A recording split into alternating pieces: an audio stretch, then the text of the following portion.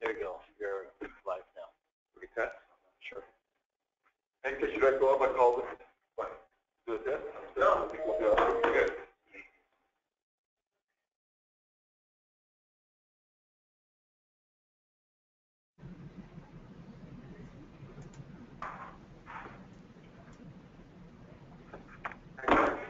You can do it now.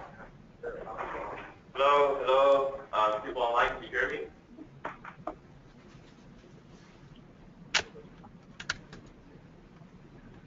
Morning.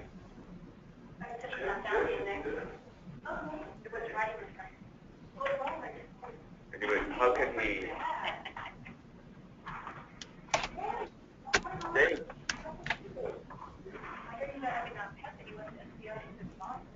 Yeah.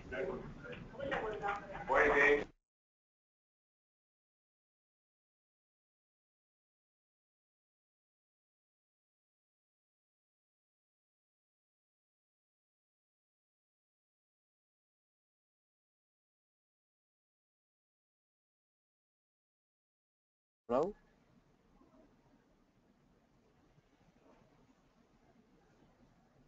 Hello? Check, check, check. Test, test. Hello? Check, check, check. Test, test.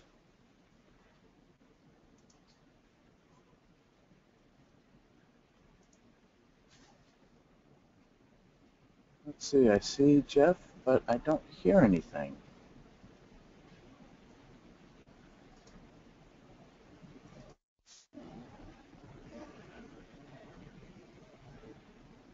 I don't hear anything at all.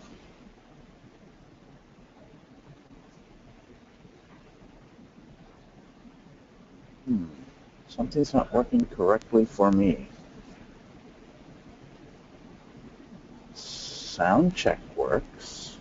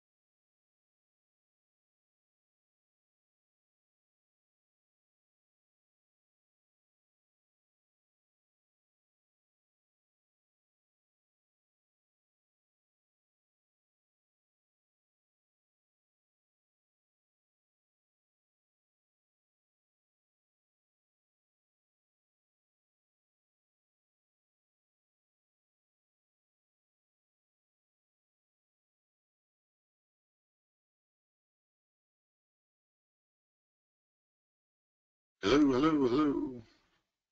Hello, hello, hello. Hello. Can you hear me? I can't hear anybody on your side if you can hear me. Um, gee, we have some audio problems again. This is unfortunate. Our test did not have any of this issue. I don't know if you folks can hear me. No. Okay, I can't hear you. Well, I'm going to disconnect and try this again.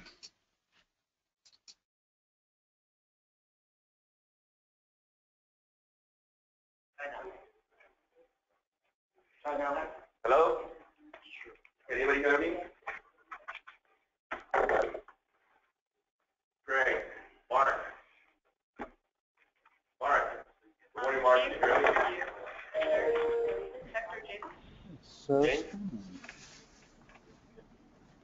no. Okay, just give it a Jeff. Morning, Jeff. Morning, Jeff. Can you hear me? Hey, I can hear you, Jeff. Can you hear me? All right, looks like we solved the problem. Weird one. When in doubt, food. Okay. Okay, Jeff, can you hear me now? I can hear you. One thing that is strange is it doesn't allow me to type questions into the question box on my control panel. I've never had that problem meeting. Okay, we'll check that. I, I'm wondering if other people that are on the line might be able to do that. Uh, Mark, I think you were also, I heard you earlier. I don't know if you can type questions into the question box, but it appears I cannot. Well, um, I am having trouble getting um, my hardware here to accept my headset. It keeps through my laptop speakers. Normally this works for me. But, um, huh. I will uh, try to log in again. Uh, one other quick comment, Arden, uh, where you're sitting, you're you're you know right in the center of the room. I'm, if you could shift over a little bit, we're just kind of looking at the uh, the the light coming out of the projector. I'm not sure if you can shift over just a little bit to eliminate that. Maybe not, but then it'll work. Yes, there's a glare coming out. Um, Yeah, if you if you move two or three seats down, but you might not be able to do that because of power cords or something. So if it's an option, great. If not, don't worry.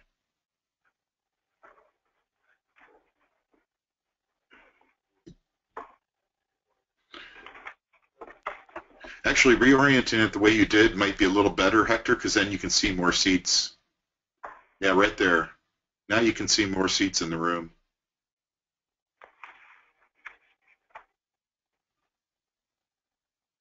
Jeff, I'm just walking around the room. Can you hear me okay? Yeah, I can hear you good. Hi. Excellent.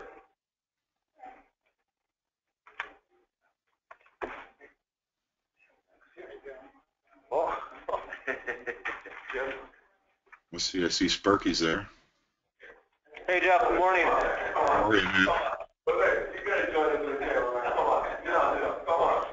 We need you in the camera. No, no, it's important.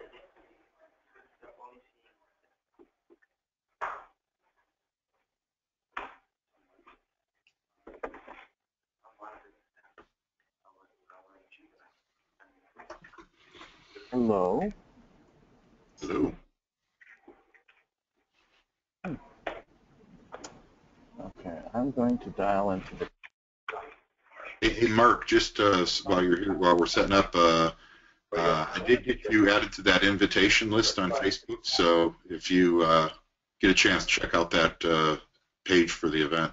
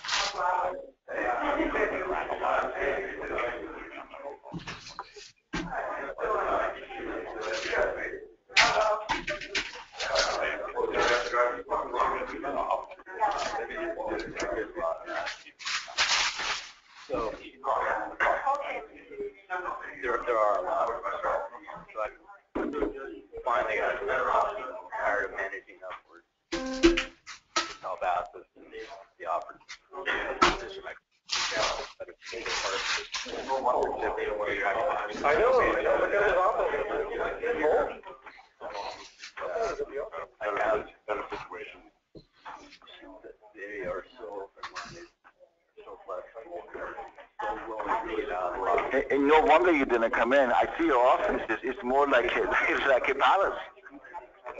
Me?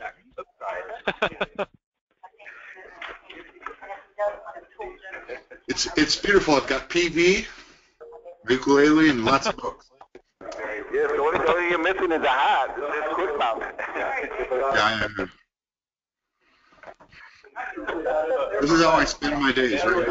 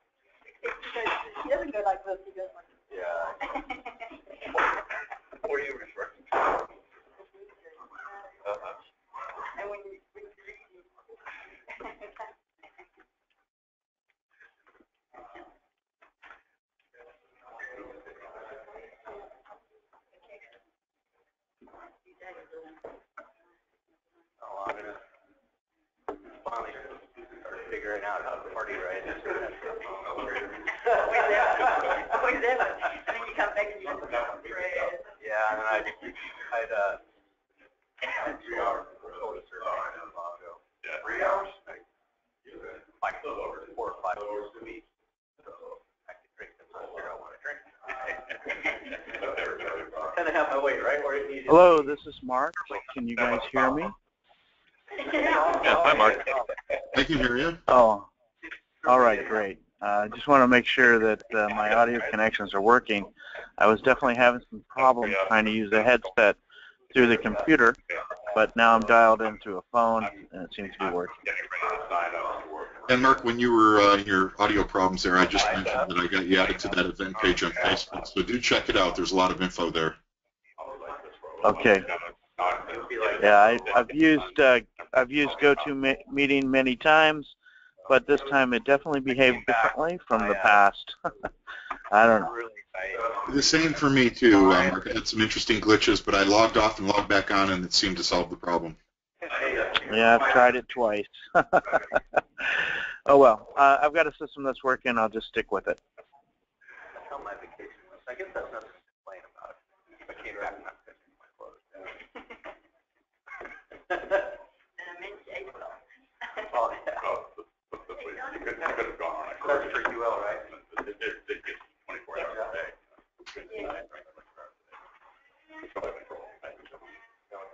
Yeah, we, uh, so we're done.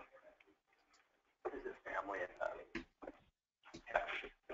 Um, they're cooking barbecue for three meals a day and, uh, yeah, yeah, lots.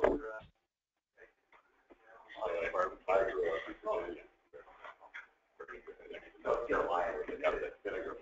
Oh, yeah, yeah, I do a little of that. We. Yeah. I am, that's it. I have lumberjack committed to, uh, I've got lumberjackets all over the place. All different styles. Will about, I think. Yeah. D, Thank you. D,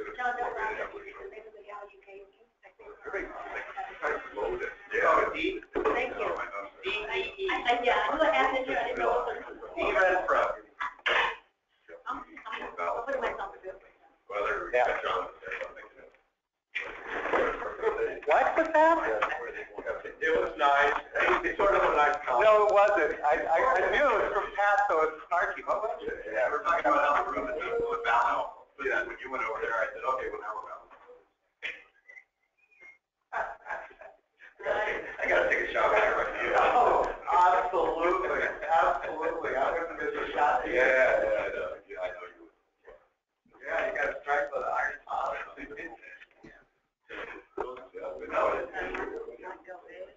You're trying to get out the door. So give them a few more minutes. I just said, we're, we Vernon won't. All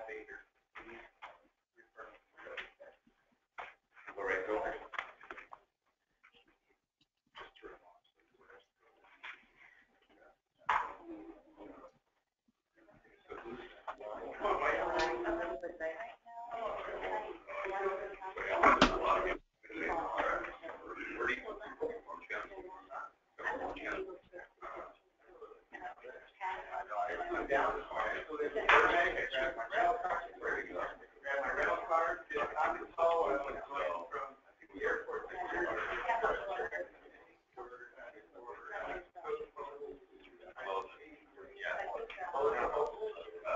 uh, you're- So right now, there are, there's solar. Well, which one?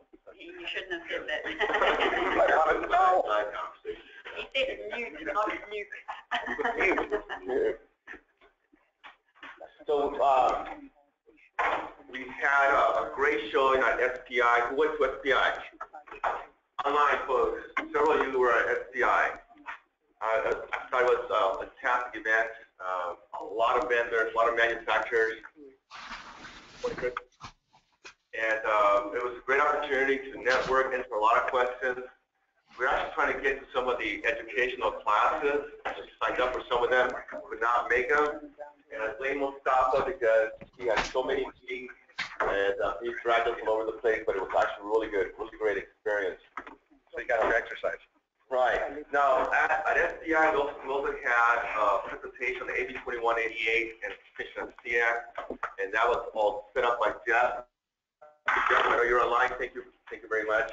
And actually, it was a great turnout. And some of the folks, about a third of the audience, were you guys from CX. And that was really fantastic. It's great to uh, get the support from everybody. Uh, and one of the questions I, I posed uh, during the meeting, during my part of the presentation, was, was one of the biggest issues impacting the industry. And Craig, I know you're online. You have the perfect answer that you share with us. Yes, yes, it was. I mean, you know, it's clear that communication is is always the challenge. It's a challenge that we're trying to overcome as a group, I believe. All right, and uh, that question has come up every time, and Craig has been the only one at, at the presentation made about CX, the only one actually answered correctly, and, and communication is key here.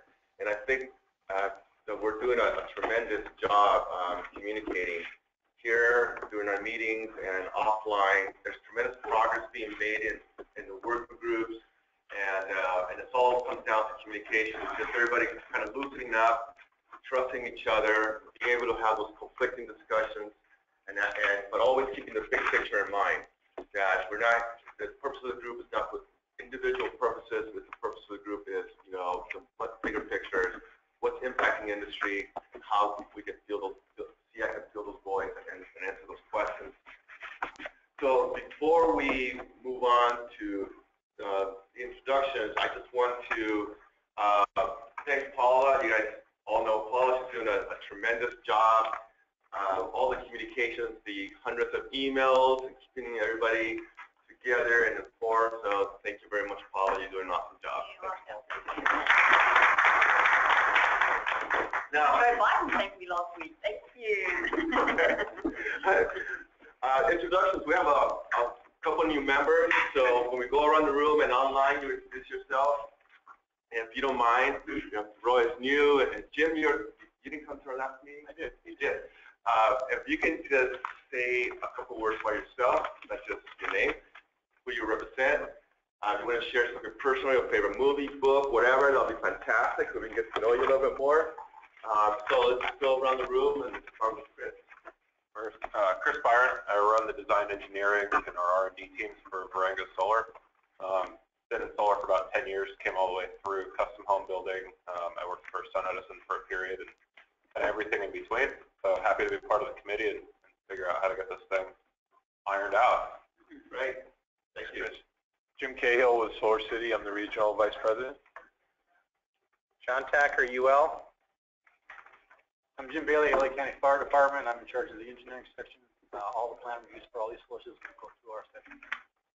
By the way, that's Welcome, as Jim. short as you can get. You'll know me, Paula. Tiffany Maycomber, San Diego Gas and Electric Service. Would not enough. Patrick Deely, County San Diego, Chief Electrical Inspector. Hi, Roy Allen. Actually, I got, uh, I got volunteered into this at FBI where I'm not really sure how it happened because I was just there to somebody keys. I, I wasn't even part of FBI, but, you know, I just sure are. Seriously, uh, I'm with ABB and, and, uh, I, I guess I do hold the new record for ABB in terms of, uh, long-term employment of, of, uh, solar personnel between, between Power One and ABB. I'm 15 years uh, in the industry, which is power supplies and solar and so on and so forth. Currently, I'm a technical support engineer for uh, ABB Renewable Energy. Glad to be here. Thank you so much. Thank you for joining us. I'm Sparky Cohen. I'm the building official for Calabasas, and that's typically how I've been announcing myself. But I do want to add, and I'm going to have to start dovetailing some of my efforts in. I'm also the inspection committee chairman for the LA Basin chapter of ICC. I'm also the inspection committee chairman for the Ventura region of ICC. And currently, we're, our goal for the year has been to come up with training for the combination inspectors. So now that I really see an end zone in sight with where this committee's headed, I'm really excited to start tying the efforts of the uh, inspection committees into this group. Thank you, I'm Sunny Dye with Intertek ETL. Cesar de Cesarista of Los Angeles. Mustafa Cachet, LA County. And Marcus just walked in. Uh, Senior for Sustainability. Welcome. Online, who do we have? Uh, I'm Craig Carney. I'm the Chief Technology Officer and founder of Iron Ridge. Happy to be part of this group. Thank you, Craig. Jeff Spee, Jeff Spies here with uh, Quick Mount PV, and I'm also uh, with CALSEIA and their chairman of their Codes and Standards Committee. Hello, this is Mark Baldassari from Enphase Energy. Hello, Mark. Good Hi, it's Richard Lawrence. Hi, Richard Lawrence, uh, Executive Director at NABCEP, North American Board of Certified Energy Practitioners. Thank you, Richard, for joining us. I'm Tom Coffey. I'm with uh, Iron Ridge. I'm relatively new to solar, been involved for about four years now. Uh, I got my start in utility construction as a site manager, linked up with Iron Ridge um, about a year ago. Um, been helping develop the uh, technical support side of things over there, and uh, glad to be a part of the committee. Welcome. Ron, Ron Mulick, uh, Solartronics is a uh, solar installation firm. I also have a construction company, Mulick Construction and Design, and the chairman of the, Cal, uh, the Los Angeles chapter of CALSEIA. Welcome. Thank you. Uh, hi, this is Alan Fields with Sungevity uh, out of the Design and Engineering Department. Hello, Alan. Hey, Don, are you, you there? Yep, Don Hughes, uh, Center for Sustainable Energy, is on the line. Okay. he sounds so excited. So quiet. Very shocked. So yeah, very quiet, Don. Yeah. Don, are are you, are you by the pool in Miami somewhere, or Florida? What are you doing? I'm intentionally not sharing my webcam because I'm sitting at the pool, yes.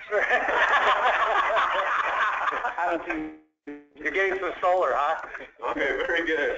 Well, thank you all. Thank you all for coming. Paula, what to do? Announcement? Uh, yes, I'm going to run through it really quickly because we have uh, um, Joseph here from PRG who wants to give a pre uh, presentation and he's got to head, head off to a meeting. So I'll run through the announcements pretty quickly. Um, obviously, we all know we've got a new member, Roy Allen. Thank you so much. Um, great to have you on the team. You're going to really enjoy it. Um, we also have a new uh, operations uh, staff member, and her name is Stephanie Yen. Oh, Stephanie, you didn't introduce yourself. no, That's no, you,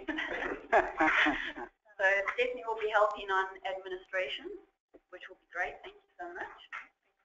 Um, we have Richard Lawrence online, and he's going to um, give a presentation and an overview on NABCEP a little bit later in the agenda. Uh, thank you, John, Casper, Sunny Ray, who will also be doing um, presentations a little bit later on UL 2703, our hot topic. And uh, to any of you here on the floor or online, if there's any announcements from you, please go ahead. any announcements? Anybody? Okay.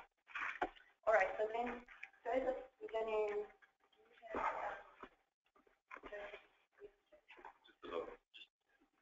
Uh, Joseph is from PRG and the public public relations group who's been working on our SEAC logo the last uh, two months. Um, and uh, he's here to talk us through um, how we've evolved to the logo that we have. He's been very patient with Hector and I. Thank you so much, Joseph. Good morning uh, to everybody here and online. Um, if you cannot hear me, just let me know. I can project uh, a little more. Like I said, uh, Paula mentioned that Hector and uh, herself had kind of involved me in the creation of a uh, logo for the committee.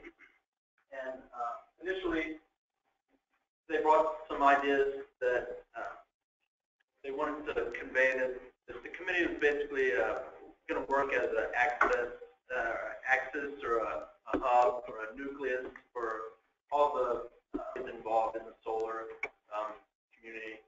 And, and then it's a problem-solving group that kind of connects all these various elements together. And if there was some way that we could kind of express that um, in a graphic uh, identity, um, that was kind of our goal. So initially, again, um, I just started kind of doing some, some research on imagery, uh, solar, just trying to familiarize myself uh, with some um, common visual elements that might that might convey themselves uh, and help communicate that idea. And taking into account the, the idea of a hub, um, an axis, or a nucleus. Uh, I kind of started kind of gravitating towards, um, for instance, the area in the center uh, where the cells, I don't know if that's the proper term, but uh, kind of white diamond shape, uh, where those are connecting together. I, I felt like uh, in the current form of solar panels provided uh, a visual element, it was a hub already. So I kind of used that um, as a starting point develop a, a, mark that, that might be somewhat recognizable to the community already um, and help kind of convey that idea. Um, if we can advance to the next page. Uh, so from that original idea, we kind of just developed um, dozens of, of marks and ideas, these being just a few. Um, but again, we're kind of working with the idea of uh, for instance, on the top version, uh, kind of overlapping of the different people involved in the community, again, but with that central axis. Um, the, the one to the right was kind of dealing with the, the idea of uh, energy going out, solar energy coming in, things like that. Other ideas that focus more on uh, solar or radiating of ideas, things like that. And the point was not necessarily to um, give a literal interpretation of anything, but more um, just to convey the idea in a, in a way that's not uh, going to end up being too um, dated soon, especially in a technology-related um, field such as this, where today's solar panel may not look at all like tomorrow's solar panel. Um, so anyway, through these and working with um, Hector and Paula about what, what they liked, what they didn't like, what was being communicated well, what wasn't. We, if we could go to the next slide. Do you, sorry, Spock, Yeah. do you want to say something? Oh, yeah, I just had a question. Do you, do you need the services of a graphic designer, Uh, or are you one? I am. Oh, you are one. Okay, sorry, sorry. Uh, But, you know, all input is welcome for sure. Um, Just wanted to check Yeah. if you needed one. No.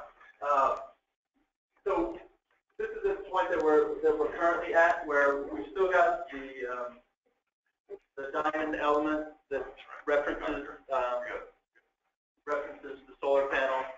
That centered, um, connecting point diamond, uh, that's kind of morphed into, um, kind of a radiating element that, um, Paula felt like was important to show, um, the connectivity, uh, in more of an active form, um, because, because it is an action committee, we didn't want to, uh, I think what was important, I believe, to Hector and, and uh, expand on this, was that it is a group that, that is getting things done. We're not, they're not, um, just kind of passively talking about things, but they facilitate, uh, moving, advancing the technology forward.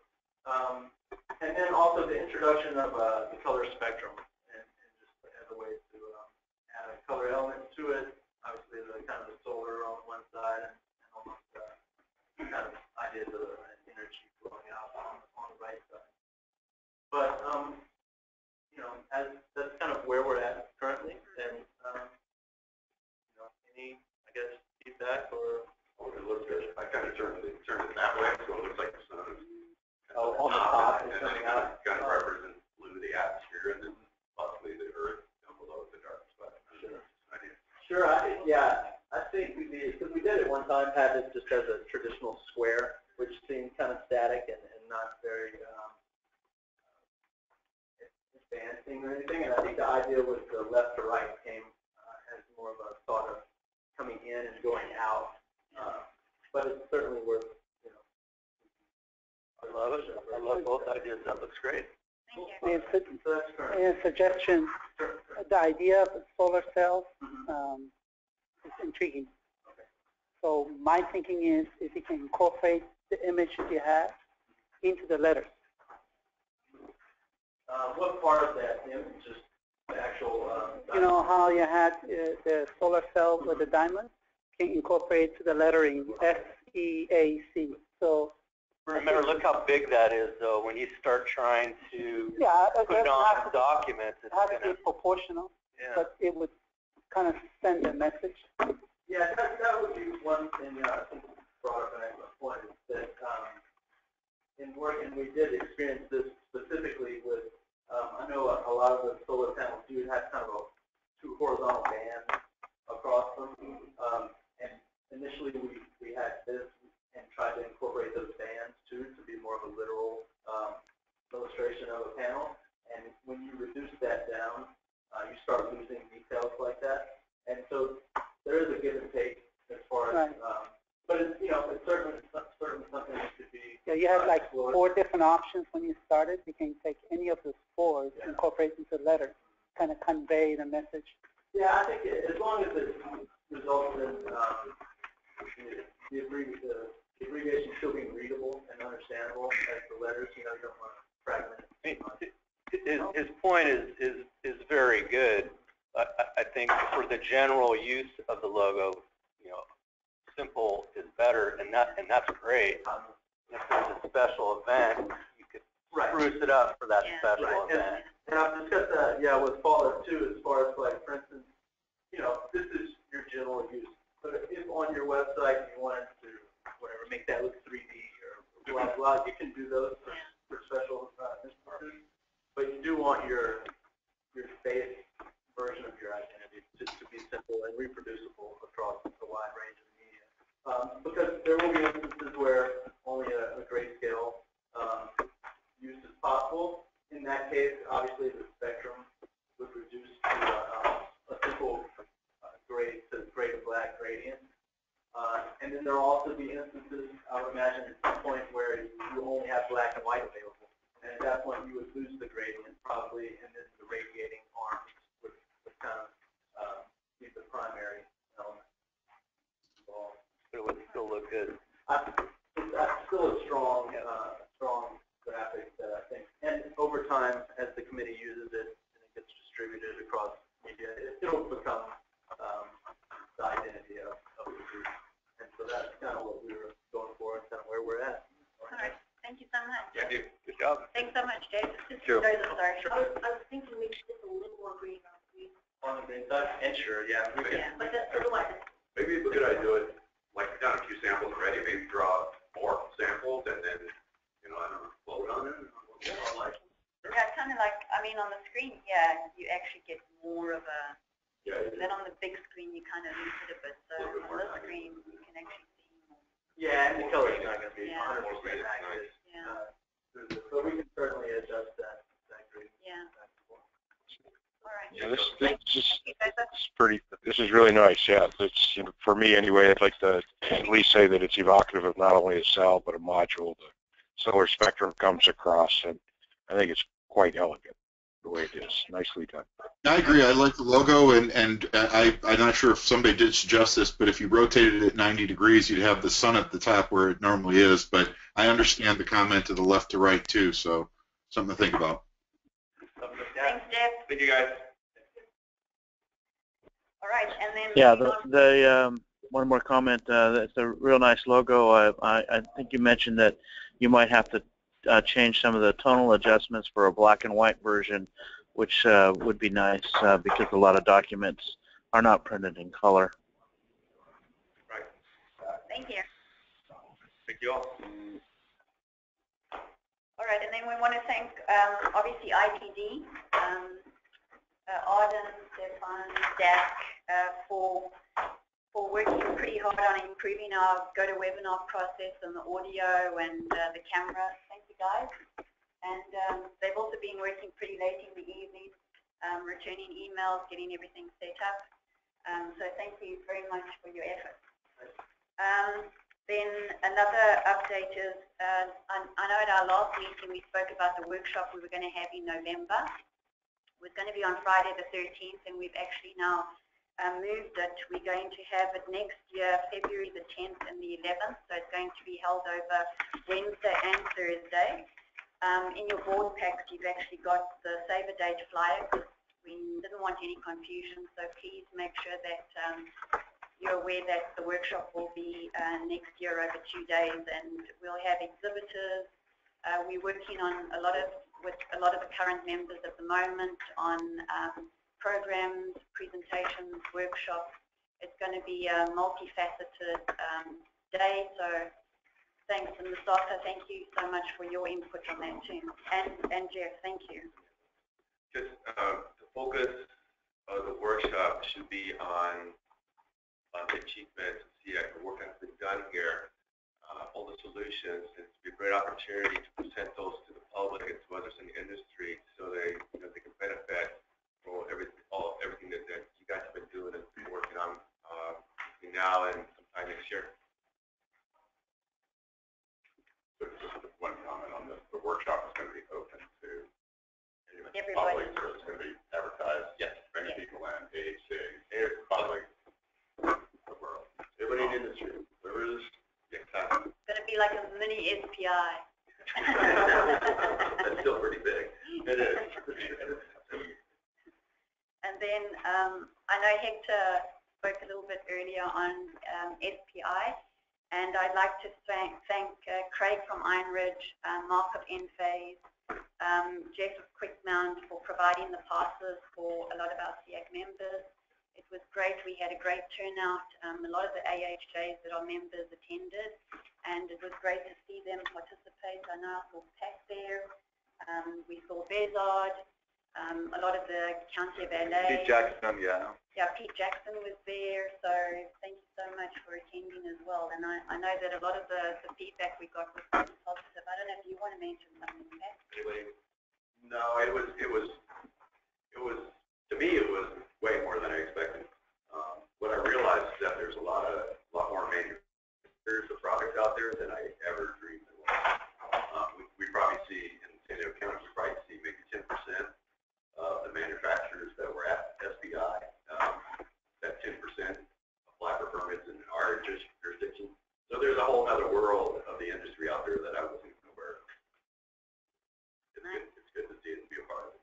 Yeah, and we also, we, um, I know Pat was uh, there as well. We attended the general session on the Wednesday morning. It was a bit of a wait time, probably about, what was it, three to four hours? Yes. And um, we eventually got to hear um, Vice President Joe Biden give a, an address, and uh, that was pretty motivational, gave me goosebumps. So, and he thanked all of us in the industry for doing an awesome job. So it's great to give us a bit of a tap on the back, right? Um, and then we also at SPI, walking around, learned so much. Um, I mean, I walked out of there and, you know, we've got a, a list of growing issues and that list just got longer.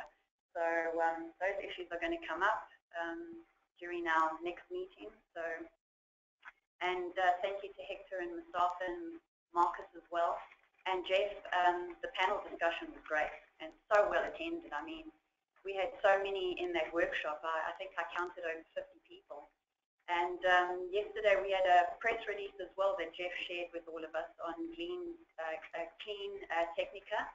Um, there it is on the screen right now. So, and it was great to, to see uh, Jeff and, and Hector and Mustafa and um, Marcus up on the panel. So that was great as well. Nice publicity and uh, good uh, top-notch message from you, Marcus.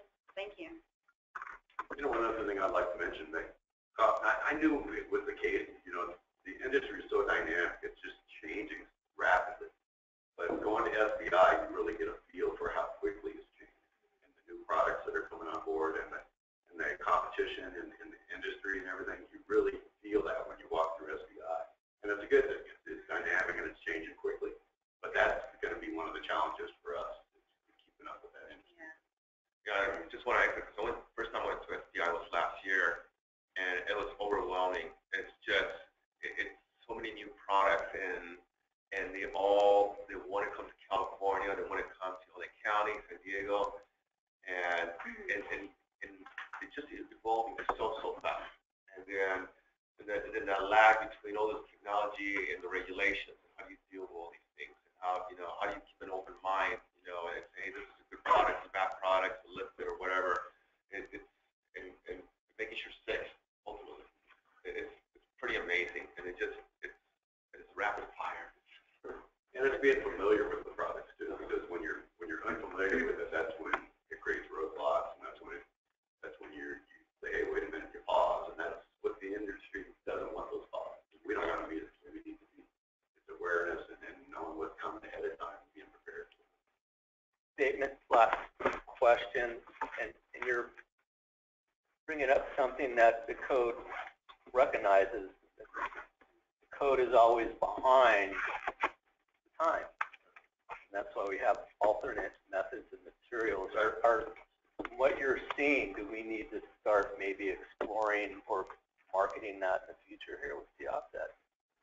We, we have to start thinking about a way to use that part of the code to help this along. This is something for the group to consider. A perfect example of what's perfect today is uh, 2007, 2008, when transformerless inverters hit North America. I can guarantee that most the average people out there in the field had no clue it was an inverter, and most AHJs didn't have a clue. Matter of fact, most of us didn't have a clue what that really pretended. And you really need to make it the chance to have alternate uh, materials, methods, materials to be able to get around some of it. If anybody was willing at the time. So the way that was approached Sparky, at least up in northern part of the state, um, the ICC tri-chapters, which consists of the three big ones, the East Bay, Monterey Bay, and Peninsula chapter, um, they have a tri-chapter uniform code committee. And what the purpose of that committee is to look uh, at, okay, we have, the code says this, but we, we we have to deal with, we have to deal with the now, and how do we deal with the now? And so they're very careful, though, that they identify that these are, uh, what they put together is draft policies. They have a draft policy of how they, they had, there was AB 2188 was even thought about.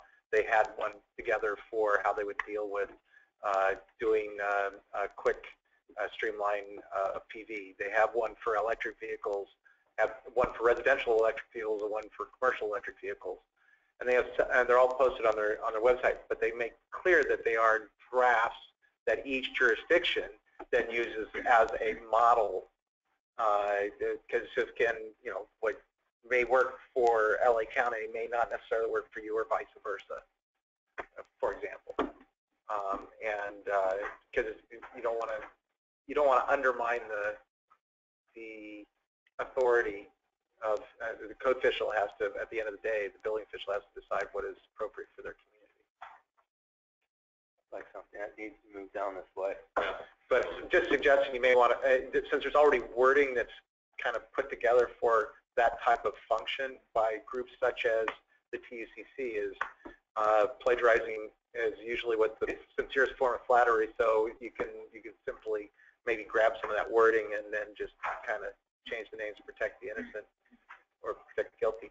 And then you can use that as as another means to say, and I agree with what, what Sparky's saying is, is that this is a forum to look at how do you address things that the code hasn't caught up with yet. I got a question regarding that, John. Um, you know, we do similar things with ICC down in San Diego County, but we typically, when it comes to technical issues on electrical, we don't rely too much on the building officials as much as we do as our electrical committee that's part of. Which is, yeah, yeah. Is that the same way they do it out there? Yeah, the, uh, so so the, the ICC tri-chapters actually have a um, a working agreement with the IAI NorCal chapter. In fact, I, will even be so bold as to say we're far better recognized by the ICC. The IAI NorCal chapter is far better recognized by ICC tri-chapters than any other IAI chapter that I know of, by any other ICC chapter that I know of. But yes, it's it, it, it's not a it's not a oh a couple of bill sorry couple of building officials sitting there and flipping a coin and saying well I I I, I yeah I know I got electricals under me and they just do whatever they well John that's how I ended up becoming part of this committee. Yeah. My frustration with that. Very good. I'm just suggesting there's already a, a working model that's worked for many years up in the north in uh, the Bay Area that uh, again just simply grab some of their words the, the way they structure it and the way they present it and and then uh, I, like I said the serious form of flattery thank you John thank you and then also to mention um, oh and, and by the way if you want to see it the icceastbay.org is where all the TUCC stuff is is housed and what's that committee called again? That TUCC, Tri-Chapter Uniform Code Committee. And they meet monthly.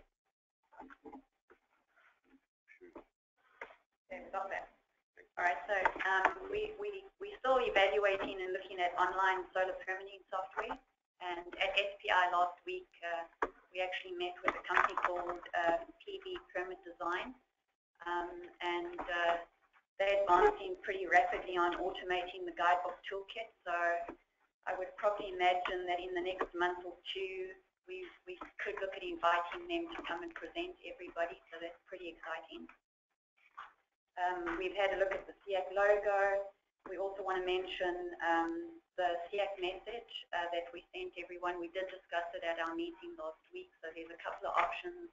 We can still modify it. And um, we probably we'd like to aim at hopefully by next next meeting to have um, you know to peg it and, and kind of say this is our message so that when it comes to marketing and broadcasting our message we have something that everybody is uh, familiar with and consistent so any feedback please provide that to me in the next month between now and our next meeting so we can we can all agree on the SEAC message uh, the draft operating guidelines, um, I've sent that to all of you as well and shared that. I think that it's pretty pretty standard. I don't think that there's anything critical or worrisome in it. So if we could also do the same and if all of you could uh, could read through that and let me know your feedback and comments as well. Um, then also the update on the group assignment issues 5 to 8, which is UL 2703. I know that September has been a crazy off the hook uh, month. Okay, I've grabbed that quote from Elon Musk, but anyway.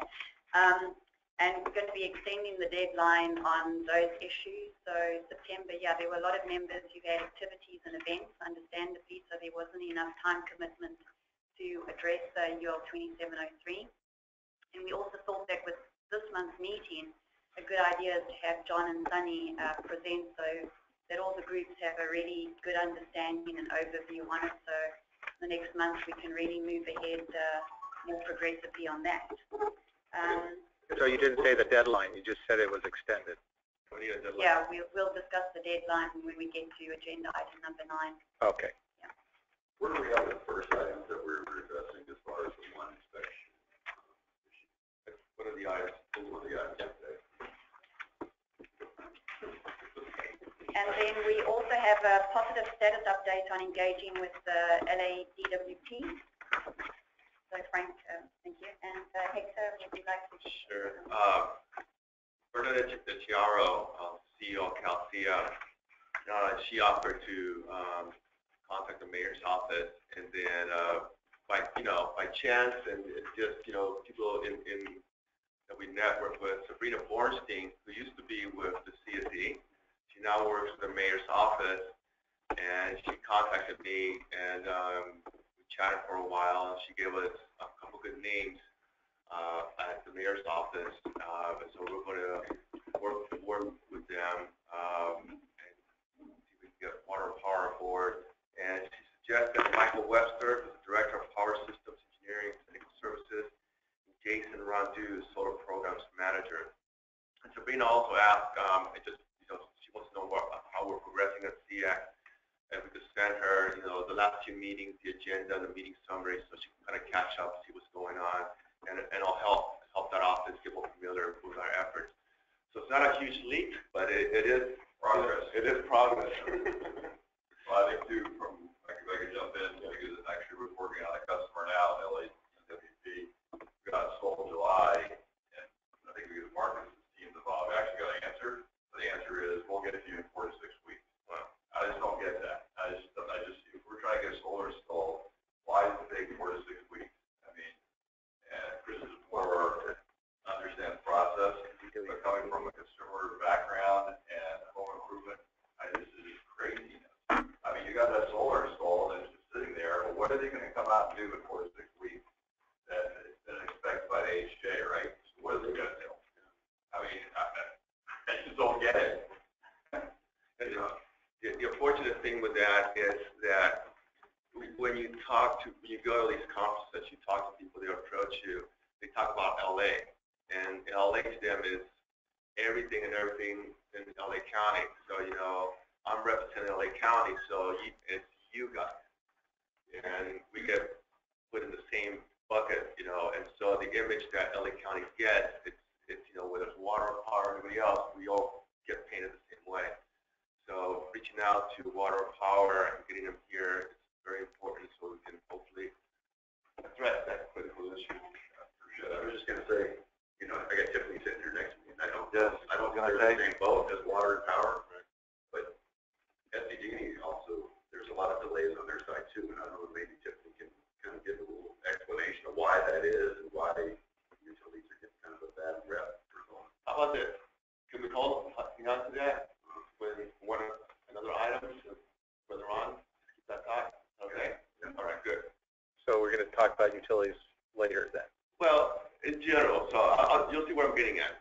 Because, because the, what I was going to say is that I think that there's part we need to understand, there is some differences between a municipal utility and a privately owned utility, first of all. And, uh, and I was just, re- you know, remember the, the, the question, and conversation that came up from the guy from Anaheim Power, City, City of Anaheim Power during uh, the SEAC, uh, excuse me, the SEAC presentation that was on Thursday. And remember the specific questions he had about about how did AB 2188 affect utilities. And and so I think that that it would be something of a, a good conversation. But I think we also need to be aware that uh, there is another organization, EUSERC, E-U-S-E-R-C, that already has, for the last year and a half at least, two years, has a committee that is specifically addressing PV and PV connections. And the, the difficulty has always been with, with the, there's 80 some odd utilities that are members of EUSERC. EUSERC covers 12 western United States. And the, the difficulties that EUSERC has is that each utility has a different infrastructure. And therefore, they will try to come up with a model that will work across the board. But then when they come up with all of their designs that they establish, then they have a matrix of, okay, this, uh, these particular designs are only accepted by these particular utilities. And the, and the whole reason, as I understand it, is basically, uh, bottom line, it has to do with the infrastructure that was established long ago by each utility, because not all utilities are the same. But I think that we, that again, it's one of those things where we, there's another avenue, another area that we can be not trying to reinvent the wheel, but trying to see, okay, what is another group doing? And then uh, that actually has those stakeholders, because uh, there's at least 30 plus utilities that show up uh, to those meetings. So um, I actually, uh, agenda item number 10, next, next proposed issues to tackle, uh, we'll talk about some of this. Maybe potentially that, that may be some, some of the things that we need discuss the next couple of months. All right, and then lastly, on our status update, we actually do have a tour with SDG&E tomorrow. So thank you, Tiffany. We're going to hang out with you again tomorrow. Uh, we're looking really forward to learning more about your operations and challenges. So thank you for arranging that. And then if we could move on to um, agenda item number five, which is the draft meeting summary of August the 27th. Um, I don't know if there's any comments, modifications that need to... And if, and if there is a motion to approve.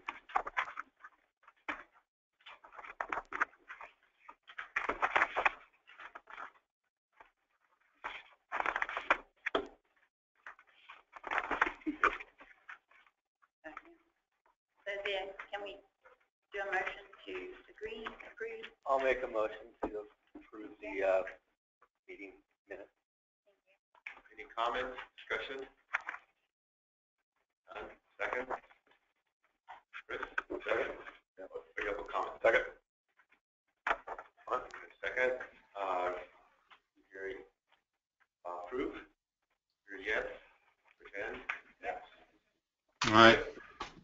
Yes. Online, any comments online?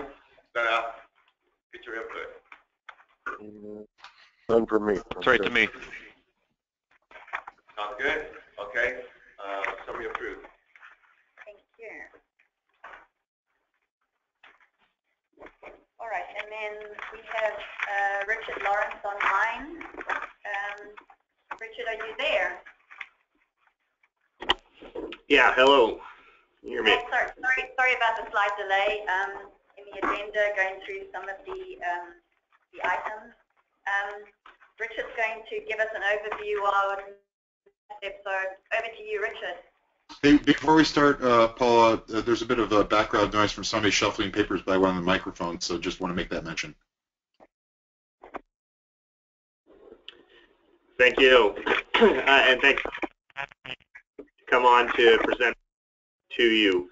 Um, give a quick overview of uh, NABCEP and uh, then discuss some of the new uh, activities that we are working on that I think will be of, of interest to this committee.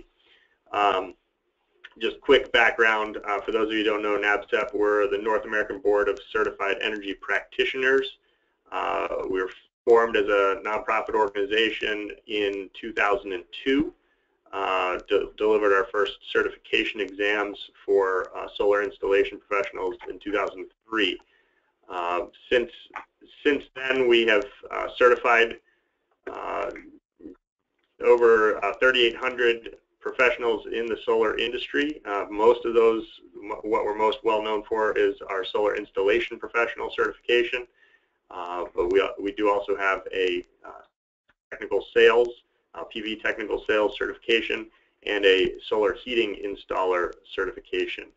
Um, the we do have uh, entry-level programs for people looking to get into the industry. The professional level certifications are intended for those uh, who do have uh, fairly substantial experience and education in the industry doing those jobs. So we have entry-level programs in, in photovoltaics and solar heating as well for uh, people looking to get into the industry and uh, learn the fundamentals of those, uh, those technologies.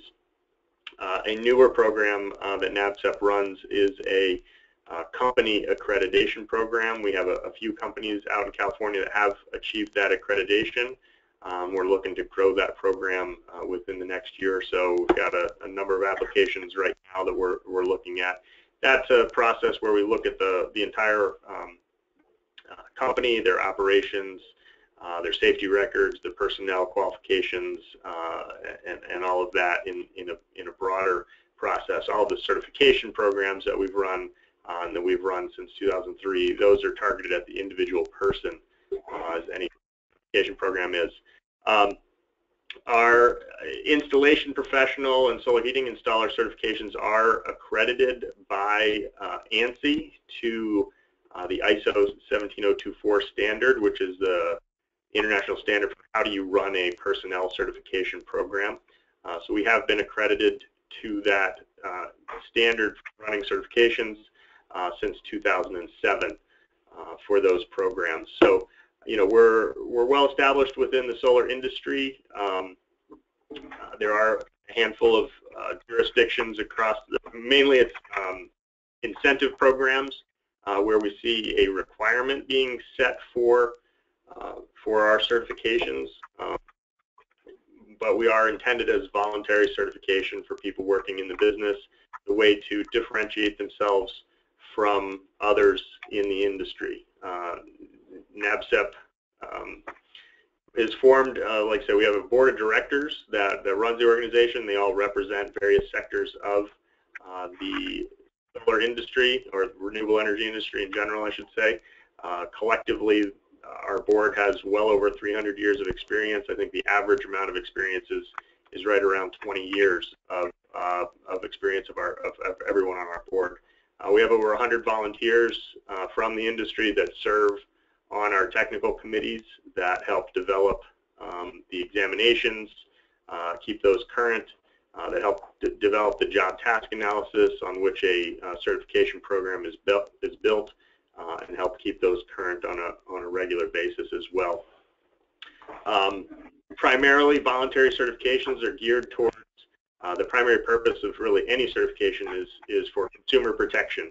Uh, it's a level for the, you know, it's a way for the consumer to identify someone who has been um, evaluated and tested uh, to, to do that job uh, by a third-party organization uh, such as ourselves. So we can, you know, we can tell the consumer that, you know, this person has passed our, fairly rigorous examinations on how do you do the job of installing PV systems or selling PV systems or installing solar heating systems.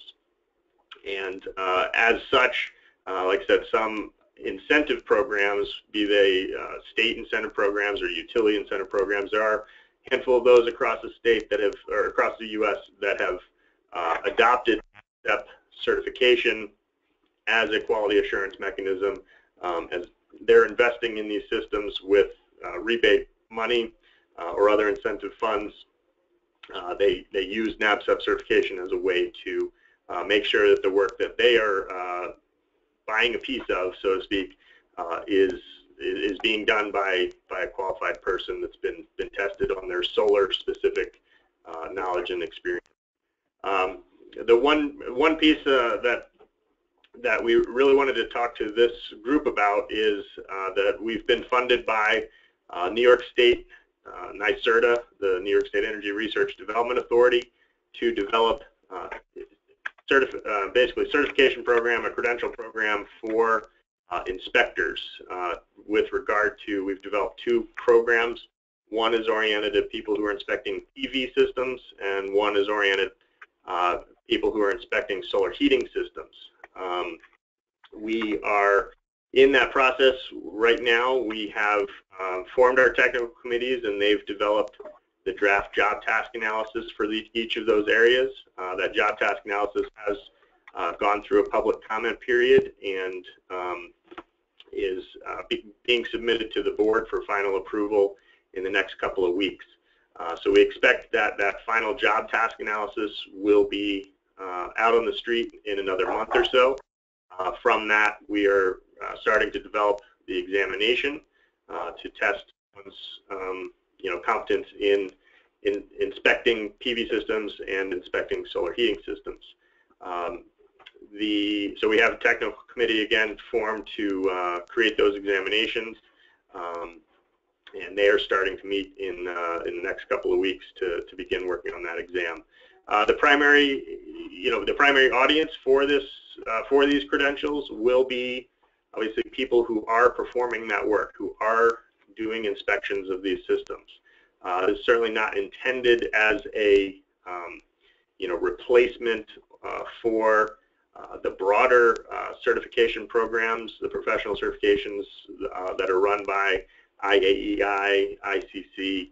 Uh, it's, it's intended to sort of enhance that and for those who are working as in the inspection community, um, code officials, other people either working for you know municipalities uh, or uh, potentially also for third parties that are inspecting on behalf of um, utilities uh, that are doing inspections there uh, or incentive programs uh, that are doing inspections uh, to make sure they know the you know the, the really big important things to look at when you're looking at these systems.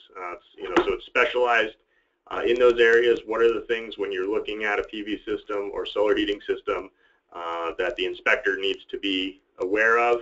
Uh, part of the job task analysis um, process is to identify the criticality of, of each task.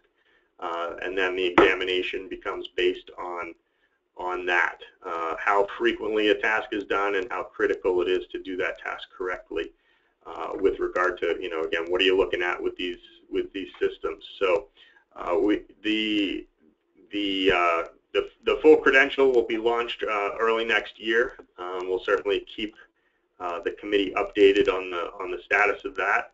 Um, again, we intend it to be a, a voluntary certification for those working in the industry inspecting systems uh, to be able to receive a, a recognition from NABCEP uh, that they, you know, that they have qualifications and that they have been tested on their their ability to inspect uh, PV systems and solar heating systems.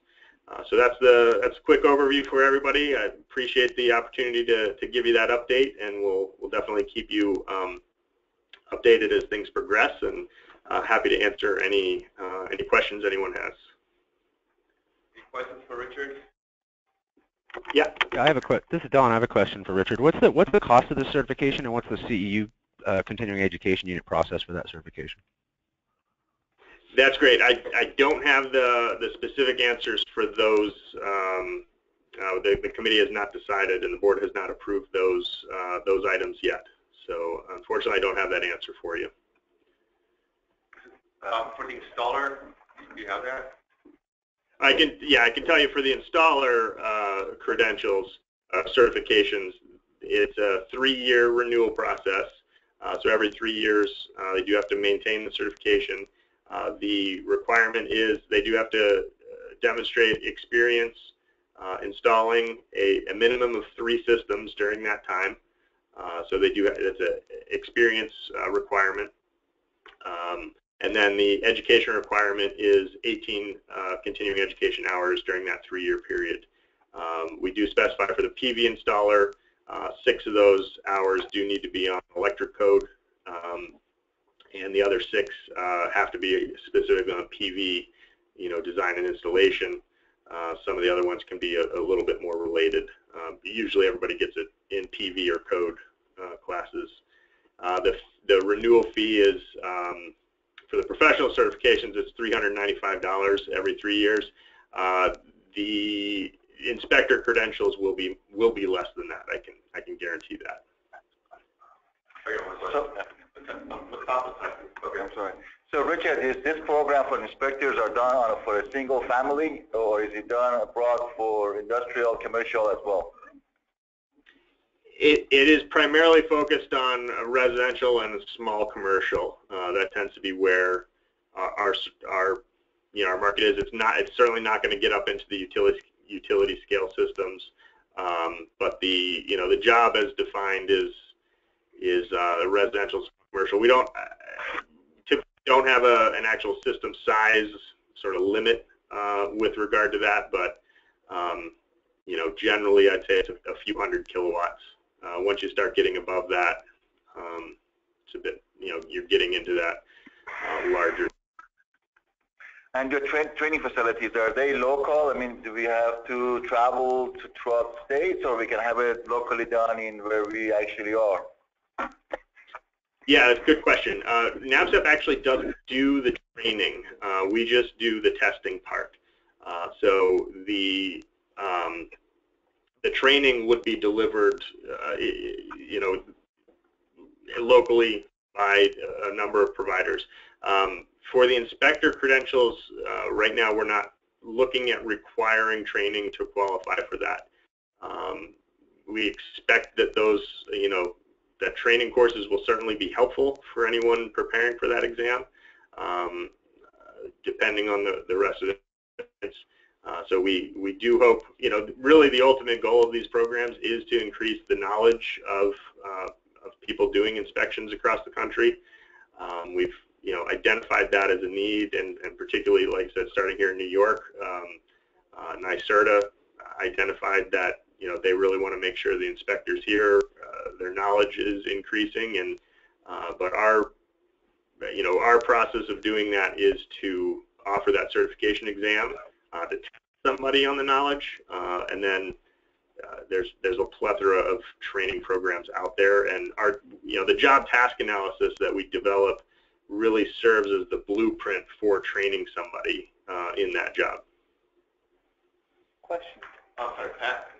Yeah, the question I have is, are, will the certification focus mainly or strictly on uh, NEC requirements, or will it include structural aspects, uh, possibly even area, you know, the jurisdictional area requirements, like California may have some requirements that are a little bit different than the rest of the country, or will it, you know, what, what is the what is the the actual focus of the certification? Uh, the PV one will be primarily uh, electrical. However, there is structural components that are included in the um, in the job task analysis, so inspecting those. Uh, the it, it isn't. It's going to be a nationally administered exam, um, so uh, you know when looking, it's not going to be able to test on uh, local jurisdictional requirements. Richard, uh, this is Jeff Spies. Uh, would it, from a structural perspective, address the uh, the California Solar Permitting Guidebook uh, requirements, and uh, also would it address in any fashion the mechanical load requirements in UL 2703? Uh, those are good questions. The you know the job task analysis tends to be more generic in terms of saying that they need to inspect the components, whatever those are, mechanical, electrical components, uh, in compliance with the uh, you know the standards, the codes that are in place uh, in the jurisdiction.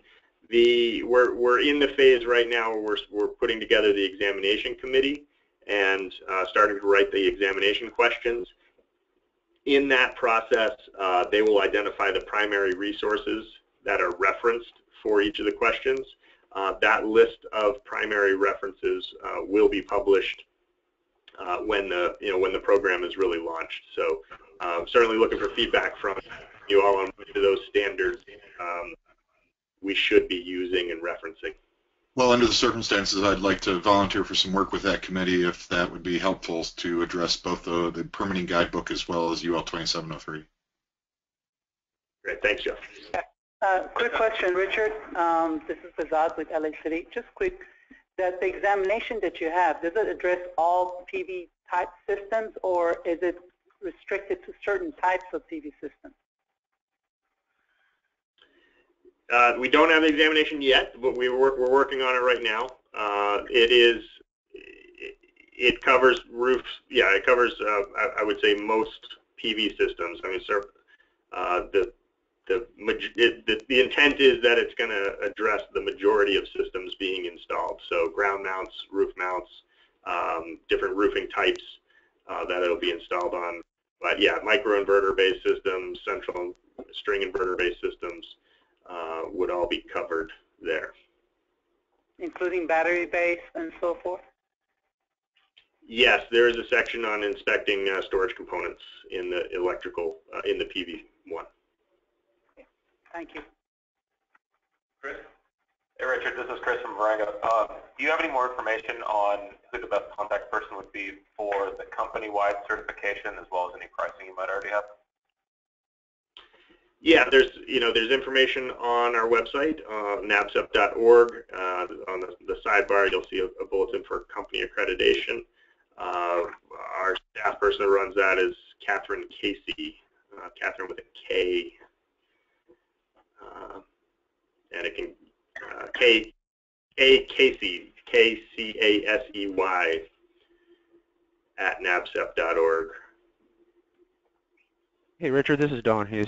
I have a question for you. Are You guys working with the IAA at all to identify the the educational needs for this? Because as a, just a certification body, the, you're going to have a lot of people that are that are falling short on the math for the temperature coefficient adjustments, for for for all of the basic elements that are contained within the NEC codebook. And the IAI seems to be the, the primary educational resource. Have you guys made contact or are working with IAI as the training provider for the for the world of electrical inspectors since you're just doing certification that way you guys can at least identify where the where the training needs are what what regions what areas and what technical abilities that, that are lacking most and then maybe directing your your failing applicants to the IAI for educational programs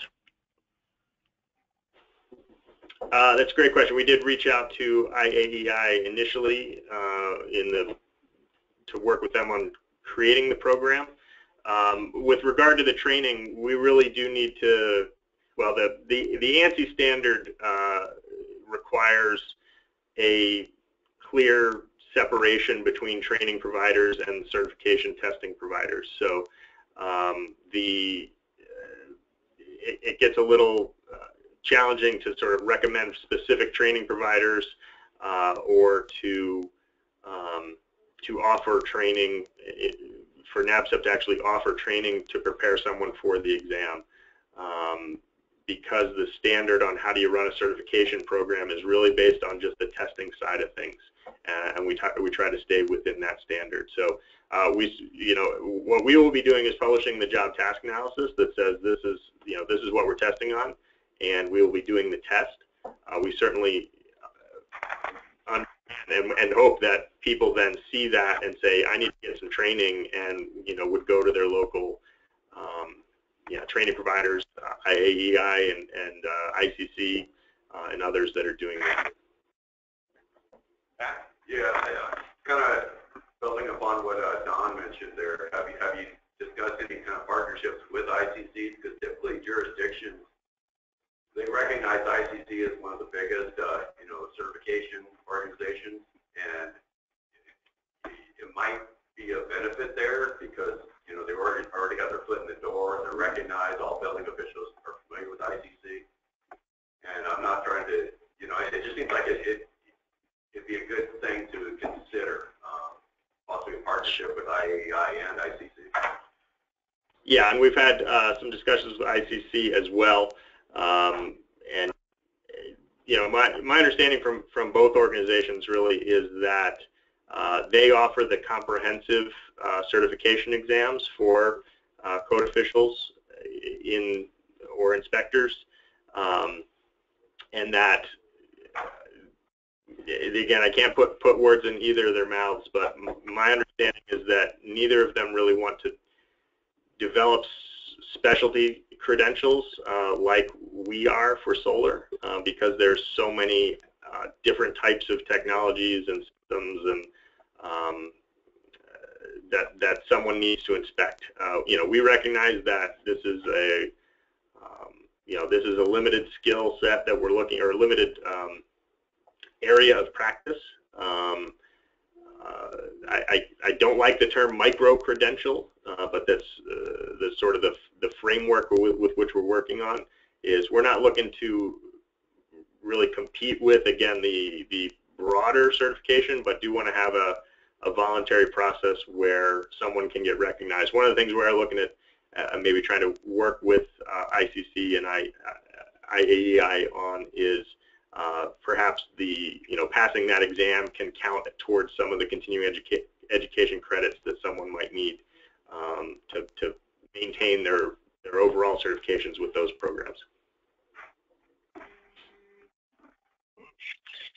Richard, uh, Craig here with uh, IronRidge. Just have one question. You know, I wasn't quite clear if I heard you correctly. You said there are, there are uh, a couple of jurisdictions uh, in the nation that require NABCEP certification for installers. Could you, uh, did I hear that correctly?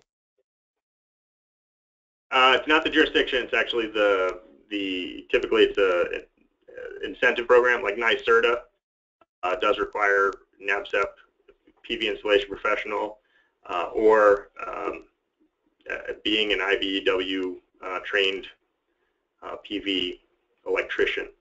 Those are sort of the two options to get access to the incentive, the rebate programs in New York State. Various states have different um, sort of qualifications to quali get access to those rebates. Um, state of Colorado does get a bit more into um, authority to do the work, it's more of a license.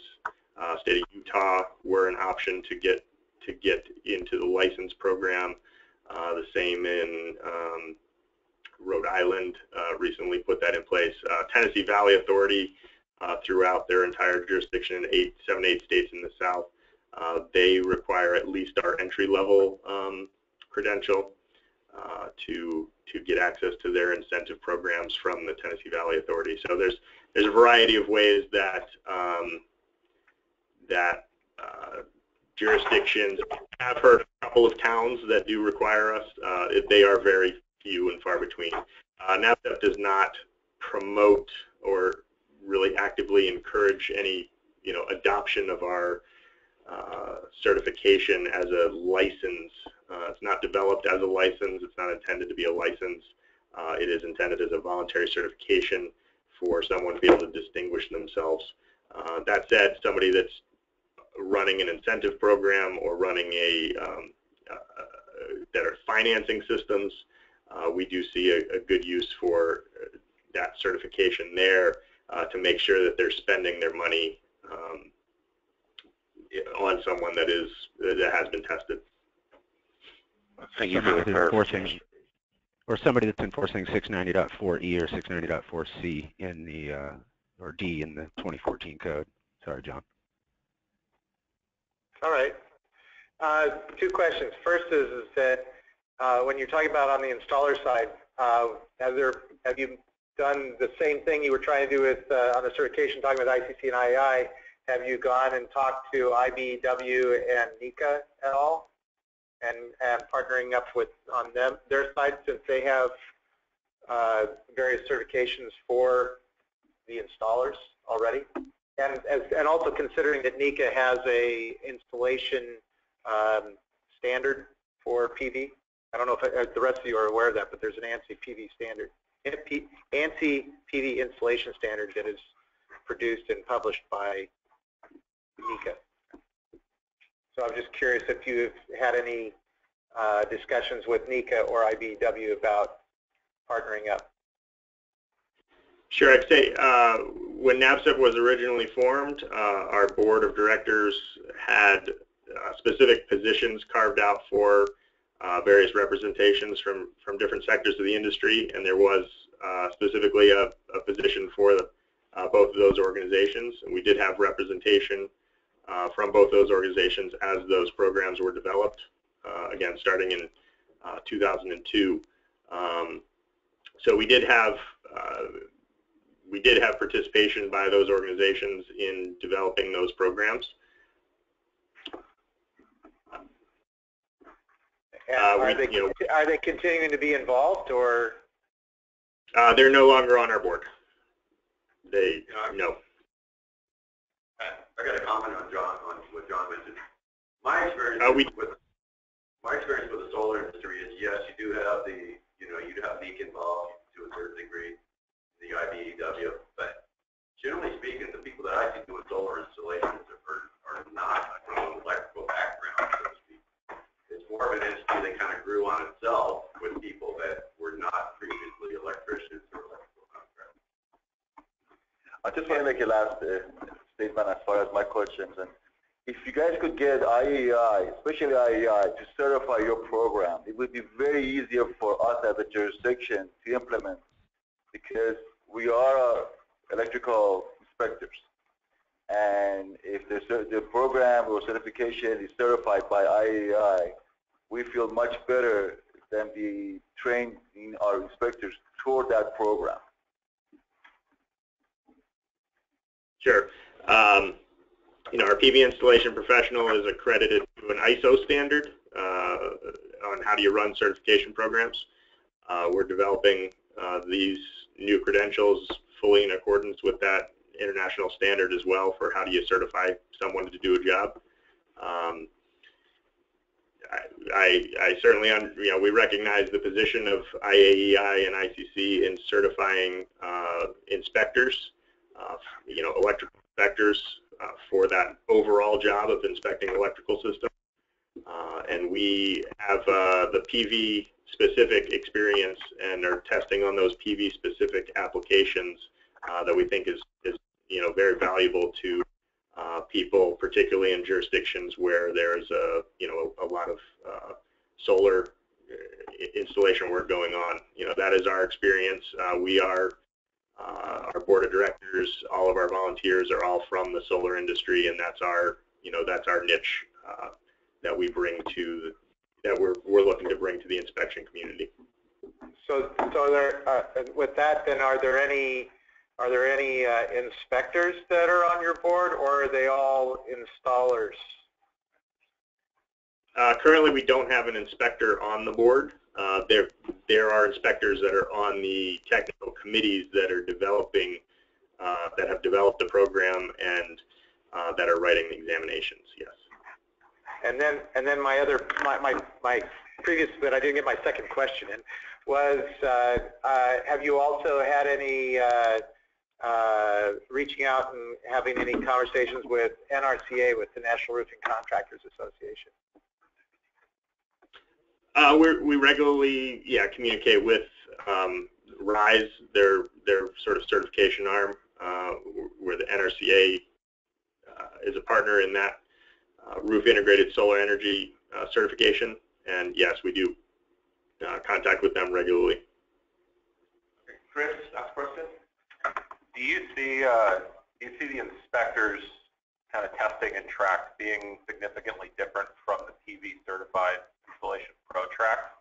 Because essentially, if we're installing it one way, shouldn't we be teaching the inspectors the exact same thing and vice versa? I mean, we shouldn't be installing it one way to be inspected a different way. So aren't we kind of just duplicating our efforts there in a way? Well, the, the, the answer to that is, is your drawings, your, oh, your sure. package submittals. For sure. And we, we will review that. Yeah, but I mean, we shouldn't be building it one way for you guys to inspect it a different way. We're, we're doing we're doing it the same way. So I'm, Hopefully you're all using the NEC and the Right. IBC Yeah. and the IBC and California Plumbing Code, California Building Code. There will be some commonality, Sure. but there's certain areas that are not going to be the same Okay, as these are in different color. There are, there will I be mean, we're, some we're, we're areas credit of for trust. qualifying jobs the same way you guys do inspecting jobs as far as structure, existing issues, electrical, and otherwise. I mean, I, I'm only saying that as far as where we're coming from is, is we're trying to do the same due diligence that we think the inspector is going to ultimately do to grade us on our final product because we're building everything for both jurisdictional approval and long life. So, I mean, I, I kind of think we're almost doing the same thing here in a way. Before we go to Sparky, uh, that actually, that was part of the discussion that happened AB 2188, the single inspection, and that if you have a checklist for the inspector, you have a checklist for the installer, there should be definitely some commonalities there. So things match as much as possible. And I have more of a, a, a statement versus a question. I talked to you about this last week, Jim. I also talked to Sunrun about it. And if we're going to come up with training for combination inspectors, what we really need is some things identified by the industry. What, what are the problems you're seeing with the inspectors? What, what in your mind is a misapplication? Where are they missing the mark? We've already surveyed the inspection community. We think we, we understand what they're seeing and what they consider a violation. Now we need that list from you. And that's the only way effective training is going to come out, and that's the only way you're going to get consistency. Sure.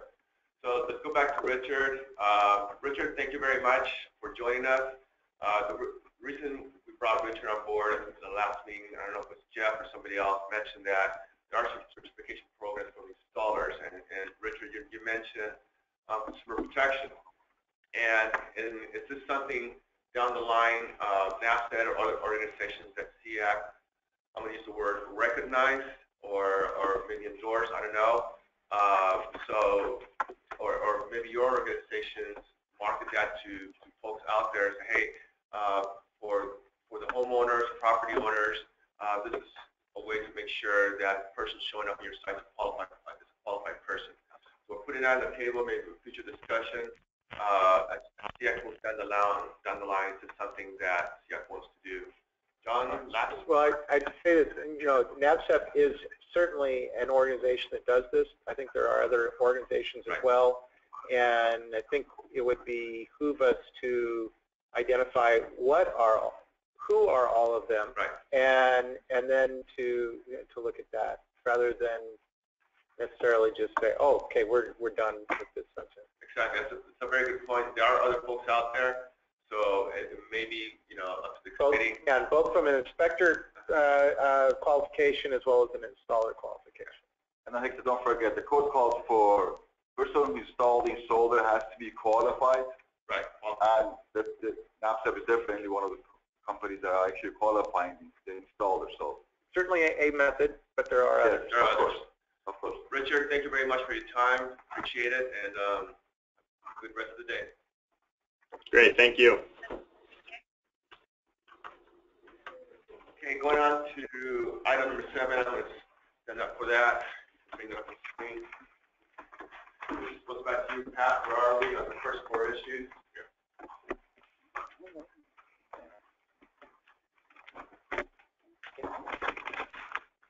I uh, for, for you to jump into item eight and nine because the end is still leaving. Okay, okay. Thank you. I just have a request. Yes. to move this item to the agenda. Uh, Carl decided to leave early, so they, they want to hear about UL 2703. So we'll skip, if you guys don't mind, item seven for now. And we'll, uh, so if we can go straight into. You really need to hear this because want they to already, see they the should battle know it. between- Rich, uh, You here's the- should know it. What's the problem? You want to see the battle between UL and ETL, and, and we just do not have it. That battle, We're- we're all- the, the battle is, this is not a battle, uh, uh, this, this is about a discussion about a standard. This is not a discuss, a battle about how one certifies this or that. So with those Good, words, we're calling the show. we're going to have Sunny. Am I correct, Sunny? Yes, Hey, absolutely. That's what we, talked- that's what we talked about last week. Good job. like to see how you. So I want to start it. I, I want to commend these guys. We were at SPI and they were talking to each other, uh, excellent friends, and willing to coordinate. Uh, Let's make sure we don't get too far. all right, now, good friends. Yes, sir. So who's going to go first? I'll go first. John. And, and, and I, I have a rogue, a rogue PowerPoint if that's gonna work for you. Do you have? Do they have it? No, I just, I was still monkeying with it Okay. five minutes ago. Okay, John, go ahead. Marcus is laughing because he heard the, the, the rumors. The rumors are true. John Packer does, does do changes to his presentation. But what the question is, is that, how can I do this? I can just go from it and, or I can plug in. Which one of these, which way you wanna go? I don't have a USB. Oh, I, I- I don't have a, a, a- just plug in. Just plug in. Yeah.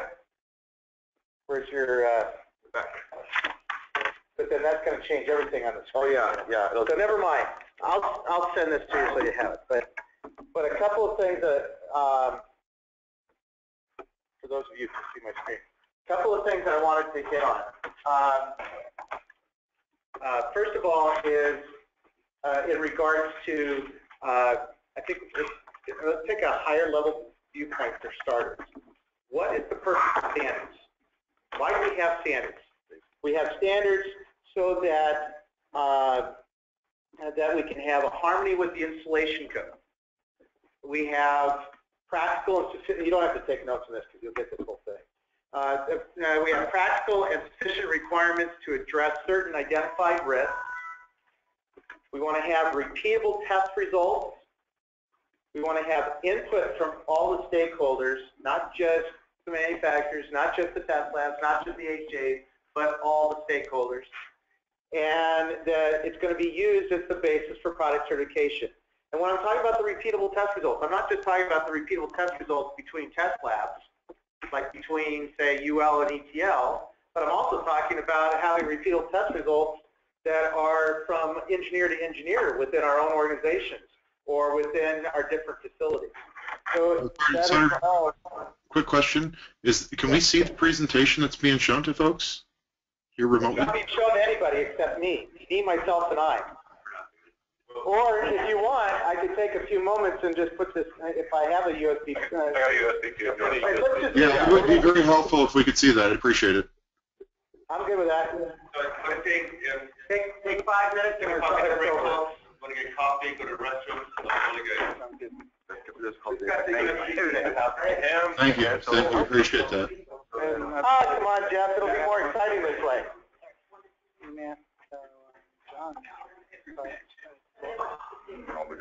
No, no, no, it's not on there. Say, Stan, while we're on a break, uh, Arden, I'm not sure if you can hear, but uh, I'm sorry, what was that? Arden, can you hear? Okay, uh, I'm not sure if you can. I think you, you said you can hear me, Paul, but uh, the question box. I don't think we can probably hear.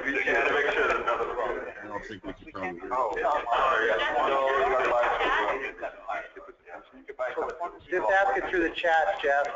You can't. That's the problem. The chat doesn't work. Well, You then can't ask it ask. through the chat again. You, you can't. I can I I don't can know hear you on the joking phone. it is, if but it's that any was pretty consolation, funny. Jeff. I can hear you on the phone if it's any consolation, Jeff. Okay, uh, thank you. Well, I um, just don't think they can hear you in the room. Yeah, I, I, I do think that the people who are on the GoToWebinar are having the same problem where we can't ask questions via chat box. I wonder if, I wonder if, manufacturers, I'm not going to accept their product. So if anybody who is on the GoToWebinar can use the chat box, that would be really helpful to know uh, if that works for anybody or if it's not working for everybody. That's helpful. know. I'll try it right now, Jeff. Jeff, I just threw a note in there to the group. I'll get you a. That's interesting because it's not working for me. I'll try logging off and logging back on. Maybe that'll solve the problem. I've done that once, but I'll give it a shot. Yeah, that's, here I am, I'm, I'm looking at these questions, I'm not sure where you're. And that was the purpose of the presentation. Yeah. And I'm, you know, Okay. Just tell a sec, but we could tell me a sec. We don't really. Is there any questions? That'd be great, yeah. We we have a lot of. I don't know if there's no stakeholders. Yeah.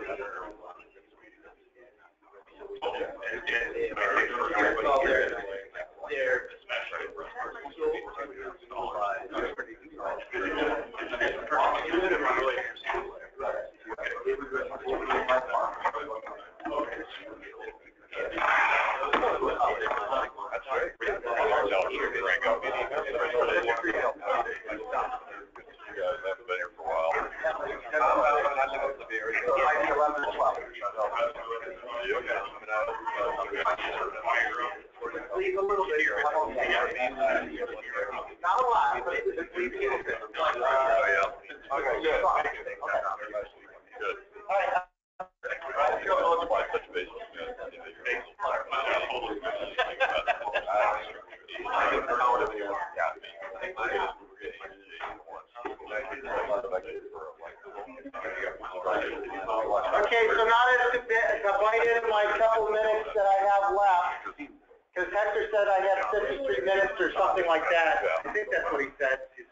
I, I said 53 minutes and he, and he didn't seem to blanch too much. Mr. Jackson, may I say, uh, suggest something that you go ahead and do your full presentation, because it's getting recorded, so if any of us are leaving, we should be able to look at it later on, and we will call you. I know you will. Yeah, definitely. All right, so, so, let me, let me begin again with, with what, uh, with what I was saying, is that I think we need to understand, uh, uh, and I don't have a way to, to advance this, do I? Just let her know. Uh, uh, go to the next slide, please. So, uh, product standards and considerations. We need to be aware that uh, in the whole part, because when we're talking about standards, we keep on talking about standards. I think we need to realize that they need to be in harmony with the installation code. They need to be practical and sufficient requirements to address. And if I could uh, get that so I can see the screen, that'd be great.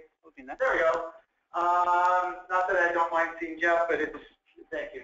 Uh, practical and sufficient requirements to address certain identified risks, repeatable test results, input from all the stakeholders, and used as the basis for product certification. Next slide, please. The typical standard content, and this is true for UL 2703, is what you'll find is, is the way it's laid out, there's the scope, then there is construction criteria, uh, that is, is not involving testing. It's just simply saying, oh, these particular dimensions, or you have to have uh, uh, certain spacings, or uh, certain types of materials have to be used that, that are not involving testing. That's what it's that construction criteria. Then there's performance requirements. There will be normal and abnormal tests. And Sunny's going to talk specifically on the individual tests that are within 2703. Uh, and then there's markings and installation manual content, what specifically has to be markings on the product or on the packaging. What I want to stress for you guys too, though, to remember, this is talking about like the caution markings, like uh, ratings. Uh, this is not the, the requirements on the certification markings. That is established by each of the testing labs. That is, and that if you look in the definition of listed in the NEC, you'll see a fine print No, excuse me, I'm showing my age, an information, informational note that will tell you that you need to look at each individual certifier for that. Neither uh, Sunny or myself are talking about the certification markings because we're only talking about the standard. We can talk about that if you want, but I think that that was, we were focused on the standards, my understanding, right? Yes? No? Today we are, but I think one of the biggest questions that Mustafa We'll, we will, we should be addressing that at the next meeting is what I would suggest. How do we know the difference? Because that's something, that's something that is going to require a lot more discussion of where do I find the information, all that. That's, that'll take us, that would take you know, the rest of my time. Um, and then if there's production line testing, like if there's uh, some grounding testing, uh, ground resistance testing that's required as the products are being made, that would be included in the standard. Next slide, please. Okay, so there's uh, there's three different ANSI methods of development of standards. There's organizational, ballot, and committee. The one, uh, the organizational is like NFPA does for their their codes. Uh, organ, uh, organizational. Committee is what UL uses. Ballot, UL used to use. Uh, but let's concentrate on committee. Please go to the next slide. So it's an STP. You hear STP all the time, Standard Technical Panel. I just, I'm, I know this is basic for several of you, but I want to make sure all of us are on the same page when we're talking about these things. There are open process of meetings. There are a balanced committee, and there are certain, uh, no one particular stakeholder can have a simple majority on the panel. It's a, it's, it's a limitation so that, that no one can, can uh, uh, uh, take over the entire process. Um, there, uh, all the information is posted on, on the website. You can go to ul.com slash standards to get all the information regarding the standard development process and it's even specific on such things as 2703. Next slide, please. I wanted to show for you, uh, I, I can't go through and name all the 55 members of the STP. Several of the STP members are in this room. but uh, there are uh, a, a, a great uh, uh, balance. There's, a, there's definitely a balance that's maintained. You notice that nobody can be over 33%. You will always find on an STP, by the way, that the producers will tag out uh, on that, and then that's because uh, obviously they're concerned about what's going to be in the standard that's going to affect them.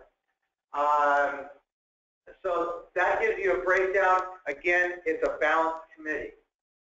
And only one, each organization gets one vote. So UL, Chris Wooster on there has one vote.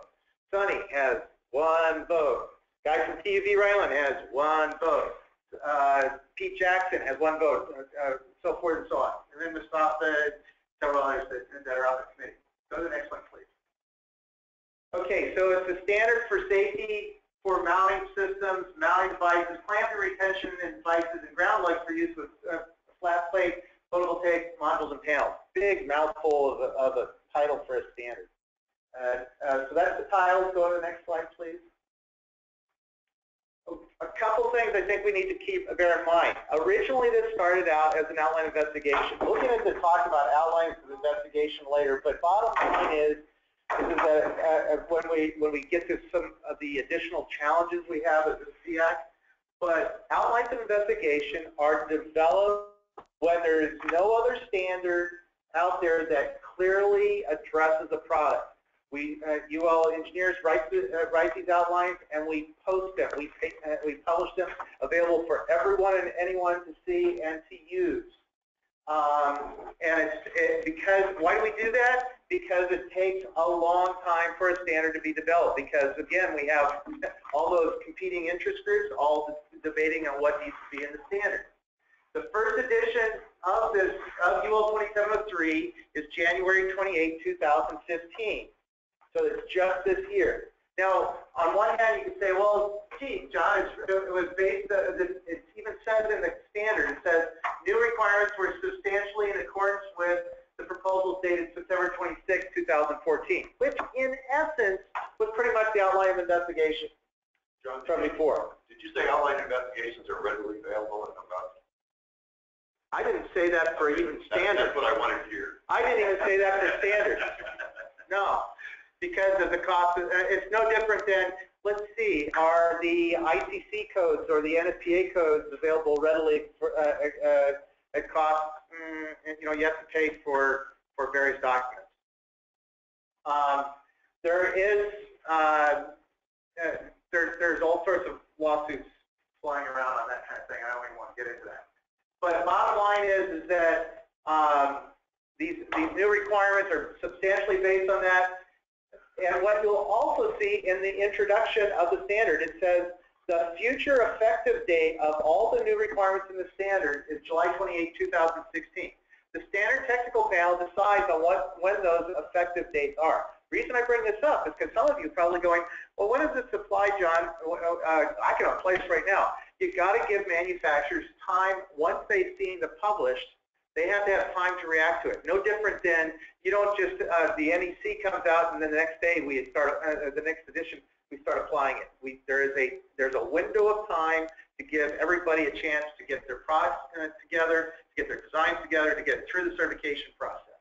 Now, several people have already gone through that and taken care of that. Grant, but it's uh, it is something to be aware of that that publisher you might get a pushback if you start saying, hey, that's I got to have products that are evaluated to that standard. Uh, manufacture my question. Another, the next slide, please. So the scope of this standard is both for systems and components. And it's a whole bunch of them. There's the rack mounting systems, there's the mounting ground, uh, ground bonding components, the clamping retention devices, and everything is for a specific manufacturer or and model designation of flat plate modules. Now, uh, the UL 1703. What that means is, is that when any of us certify one of these products, we are, it's to be matched specifically with a PV panel. It could be a group of panels, uh, uh, uh, but it's got to be specifically uh, connected with it because that's how it was evaluated for uh, providing the proper grounding and bonding or fire classification or mechanical loading. They're for installation on or integral with buildings or to be freestanding, not attached to buildings. And, and bottom line, it says it's need to be installed per the NEC. It's intended to be installed per the NEC and the model building codes. Yes. When a product is listed to 2703, does that mean it met all aspects of 2703, or did they pick and choose which aspects? Great, great lead in. Let me go to the next slide. And, and it's actually one of the issues that were. So here's here's the thing. Is, uh, uh, let's get the first one out of the way. There's also in the scope it says there for PV module systems with a maximum system voltage of 1,000 volts. I'm pretty confident that will probably change readily because of the 1,500 volts uh, now uh, uh, being in the code. So I, I would bet that there's going to be a uh, in the next edition that'll be a proposal. So let's let's avoid that and let's let's go past that one. Let's look at the attributes. There are essentially four attributes that are addressed by the standard. One is grounding and bonding. Two is mechanical strength. Three is suitability of materials. I threw that in because it says it in the scope. And fire classification of PV systems. Let's look at it as grounding and bonding methods, uh, grounding and bonding path, mechanical strength, the mechanical loading, and fire classification. When we're looking at these three attributes, is, is that a manufacturer may come to any one of the certifiers and say, I just want to have evaluated for grounding and bonding. Why wouldn't they get the fire classification? Because fire classification is not required on every single building.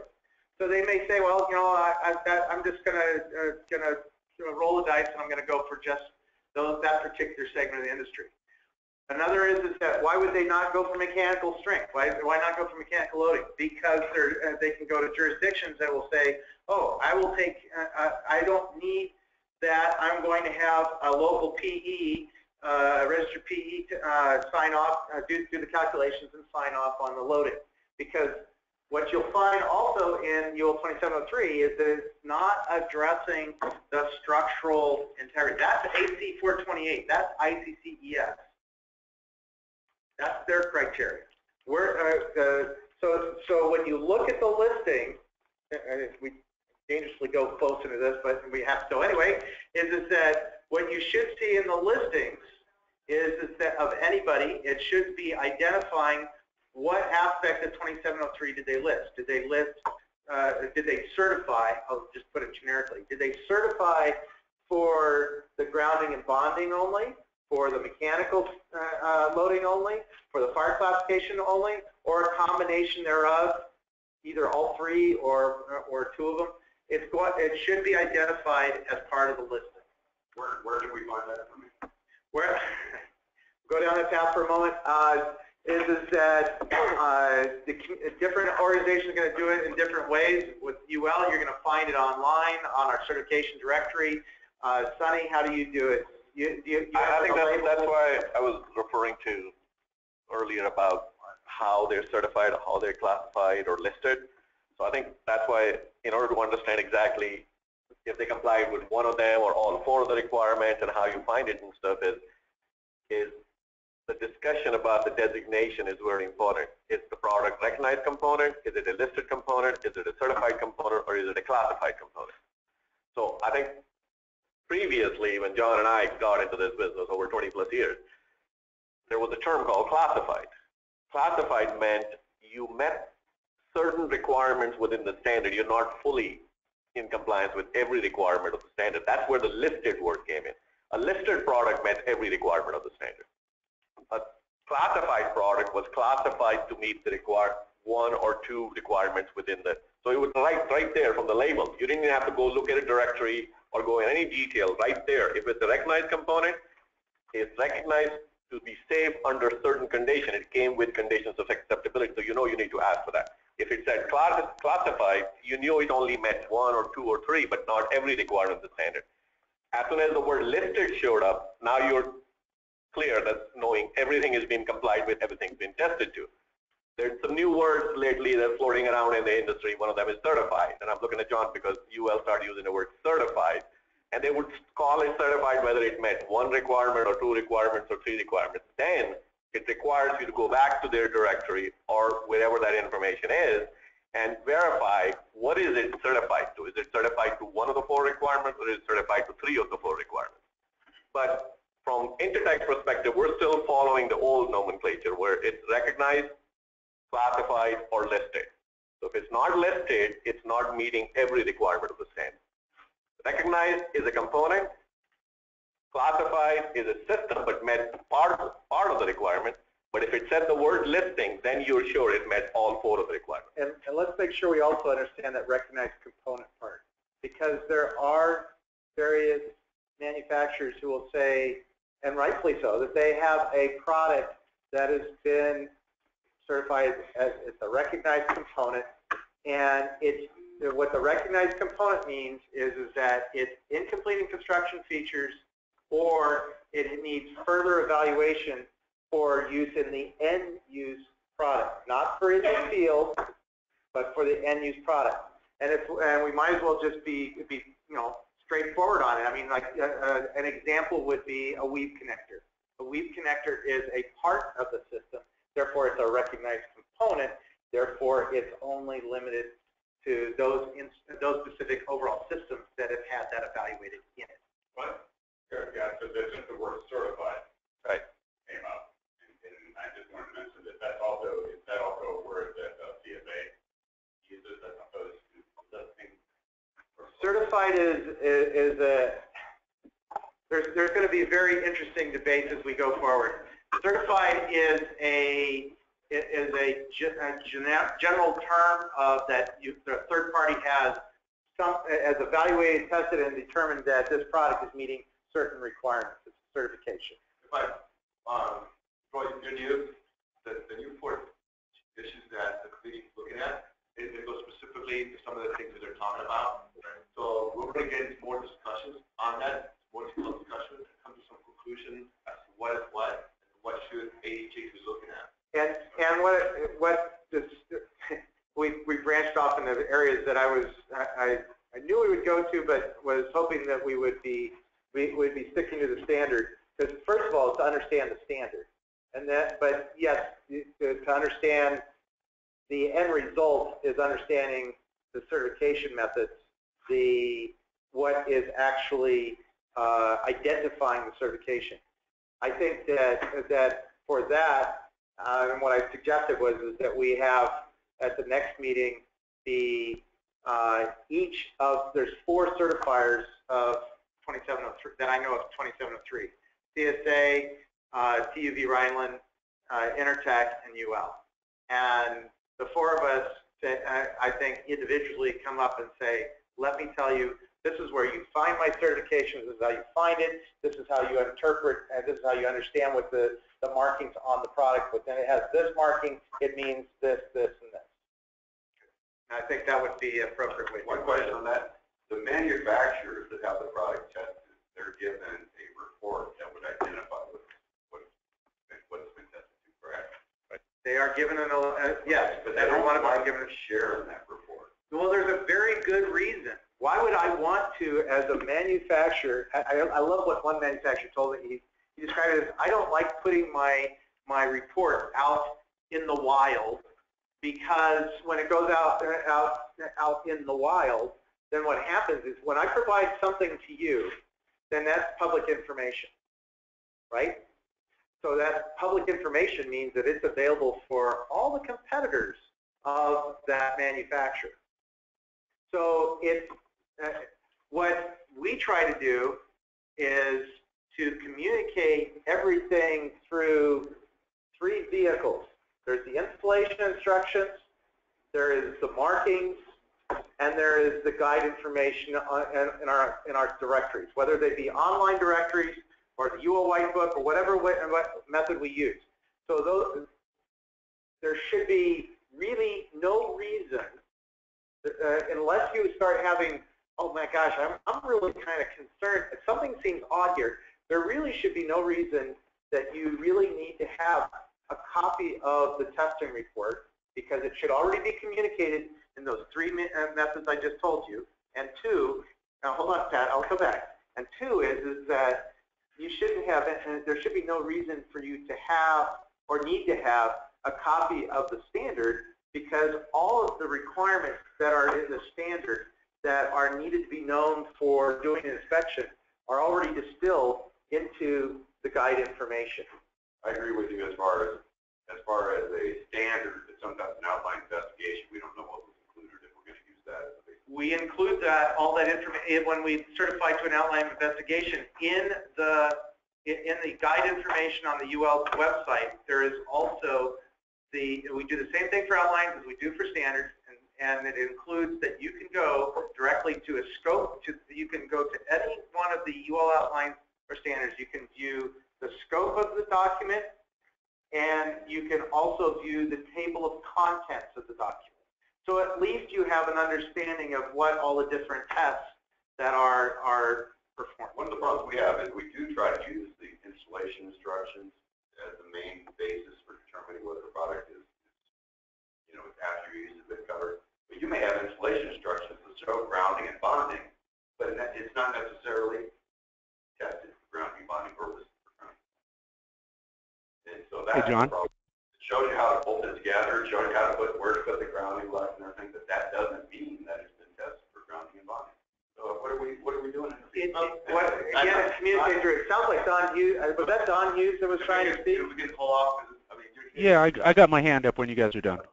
you're you're hitting exactly what the discussions are going to happen in the next quarter.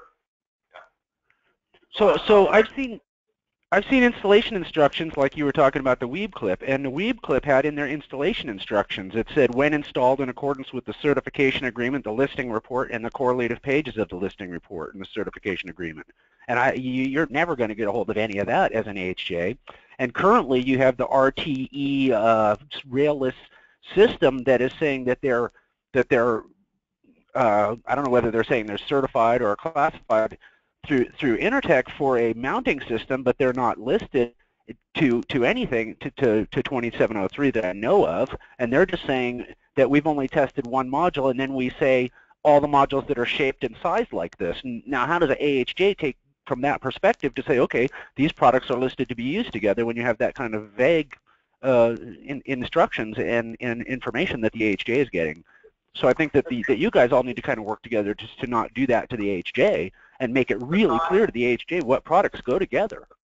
Don, let's divide the question. For the, for the Weeb connectors, UL has recognized the Weeb connectors, recognized component. There is not a UL mark on the product.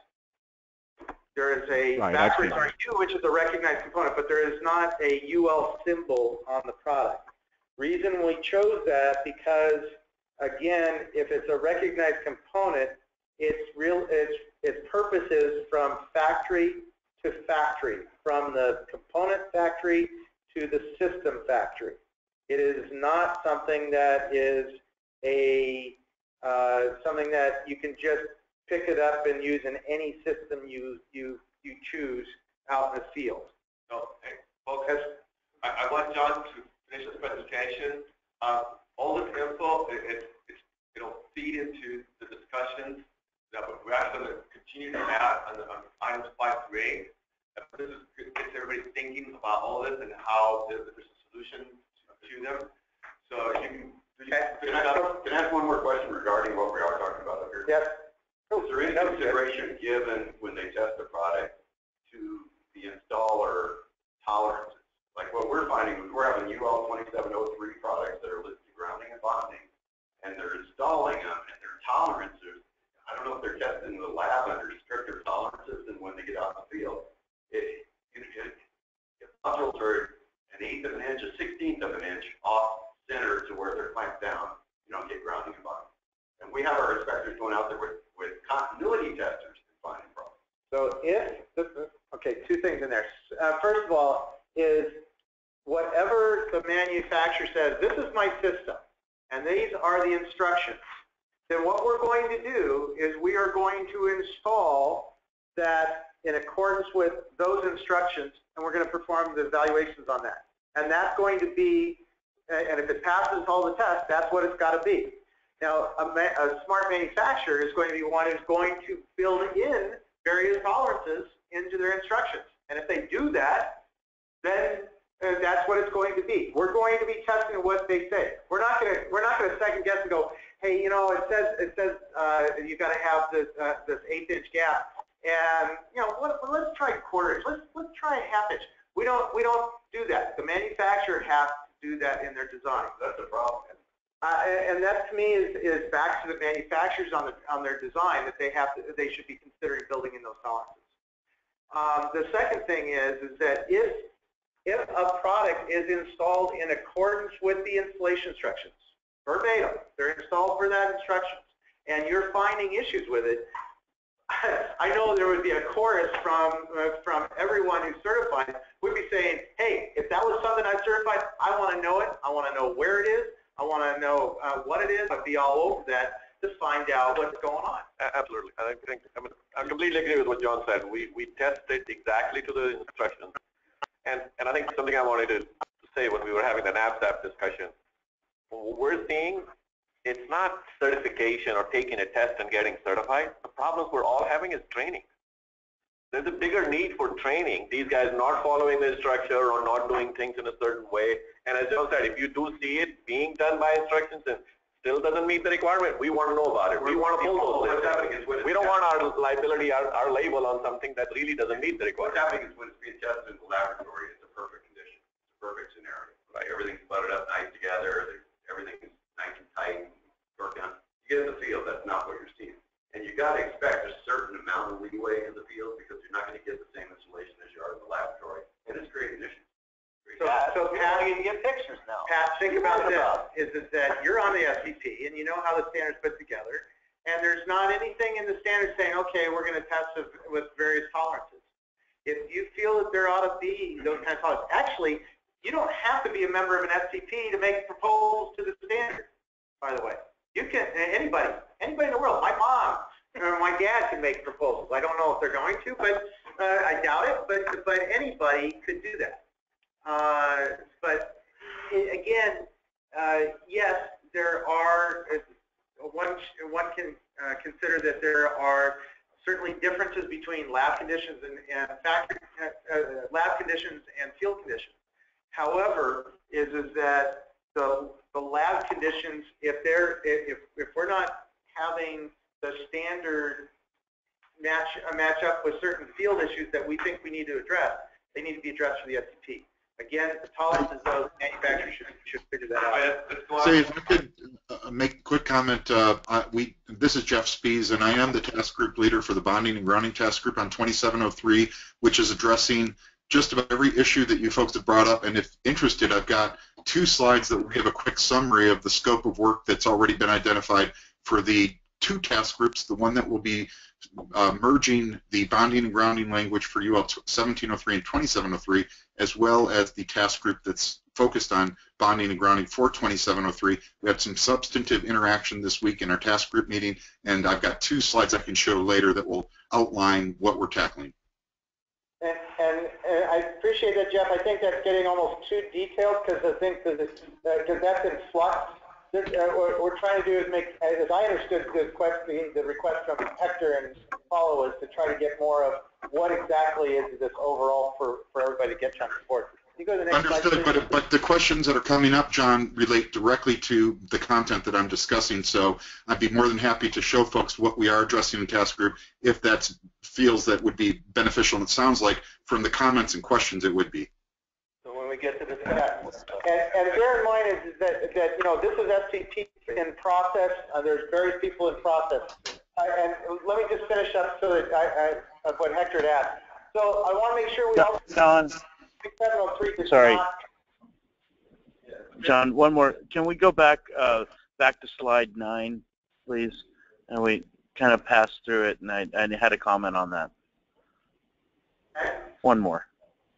Go back one more. Yeah, in there on the first bullet it says uh, that the scope covers racking systems, uh, mounting and grounding components, clamp retention, um, manufacturer model designation for flat plate to PV modules panels complying with 1703. Is that actually in the standard? Where is that um, where it defines that the model numbers for the PV modules um, need to be identified? So that's verbatim from section 1.1 of the standard. That's in the scope? This is, Okay. this is, that, that, that, I made sure to copy exactly what stated in the scope. Okay, thank you. I'll, I'll take a look at that as soon as I get a copy of it. I was going to say, that's every standard, I mean, you have to identify what you have. Yeah. But Um, the question then comes from the location of it, where, whether it's visible after installation. I don't think that was what Mark was asking. That was Mark, right? Yeah, that's Mark. Yeah, I was asking if, if the uh, model designations need to be um, identified during the evaluation. And then second, secondly, um, uh, you mentioned about where does this information reside uh, for the inspector at the end. Is that part of the listing that you would see um, from the uh, certifying site, or is that something that's required in the installation manual or markings, or where where do you, where does an inspector find that information? And that's, and that was, what I was saying is, is that the, the standard in the section on, on markings and installation instructions are going to say what markings have to be and uh, what, what markings there have to be and where they're, uh, where they're located. Um, as far as certification markings, that is not covered by the standard. Yeah. So specifically for um, So I specifically for the if we're looking at the marking section as to where the markings need to be. That's, that's where it's going to be in the, in the, in the standard. I don't, I don't have the, the standard open in front of me, so I don't, I can't quote chapter and verse of exactly where it is. Uh, but, uh, uh, what, what this is saying, this is not, what, what the scope is saying is, is that the manufacturer, uh, and the, uh, the the manufacturer model designation is, is that you can't, is there's not a generic, in other words, there's not a generic rack system that you just say, hey, this uh, will, uh, this standard covers a rack system that can be used with any PV system, I, any PV panel I so desire. It is, it, Mhm. there's a specific linkage between the PV panel and the rack mounting system or the mounting components or the clamping retention device. right. Would you be able to uh, No, it, it, it, uh, John. on that or not? no, I, I was just trying to hear what somebody was saying. I, I, I can read through, the- I got the marking section up here that says, manuf- We're getting into a lot of, Weed. I know, a lot of details, but yeah, yeah. let's just, uh, try, if you can wrap it. Perfect. You, you okay with, uh, if Mark, we need to talk further offline, more than happy. Yeah, I, I, I think maybe um, you're right. We're getting into the weeds. I'm being real specific about something. Um, let's let's talk after the meeting. That'd be fine. Okay. Um, so go to uh, my, uh, what, 10 or 11 slide, I can't remember which, where I was. Um, uh, there we go. Don, just want to make sure we also understand, I just want to make sure we also understand what 2703 doesn't cover. It doesn't cover uh, combiner boxes, wireways, and electrical enclosures that's taken care of by UL 1741. Doesn't uh, cover ground rods and rod accessories that's covered by UL 467 doesn't cover uh, the uh, uh, solar trackers that's covered by 3703, doesn't cover inverters and all that. This is just the racking system. So that's all, and this is all stated in the scope. This is all stated online. You can all access this to see this. Does, does it cover bonding and grounding lugs that are specific for, for solar? Yeah, that would be a component. Okay. So that would be covered. Uh, actually, a couple of the manufacturers that make those components are members of the STP. Uh, I think that was the last slide I had, was it? Okay. Thank you, John. Yeah, perfect. All right. John, could we get a copy of these slides?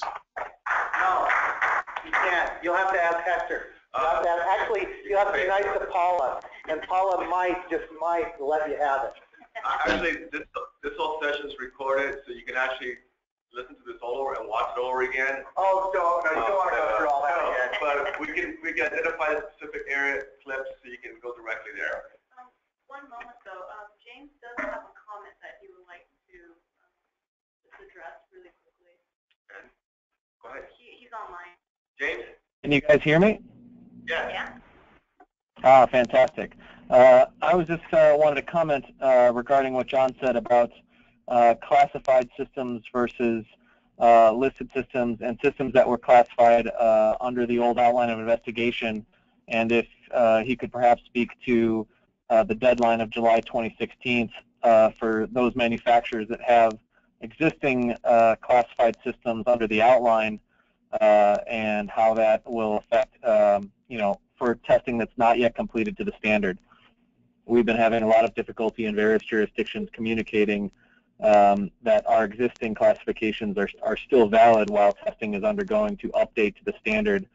So for us, in, in using uh, issue one, uh, where we had um, various ranges of module uh, sizes that were acceptable, and as we're getting various makes and models tested, we're in this limbo period in between, uh, and some jurisdictions are, are voicing objections uh, to accepting our uh, test reports to outlines of investigation, specifically issue one.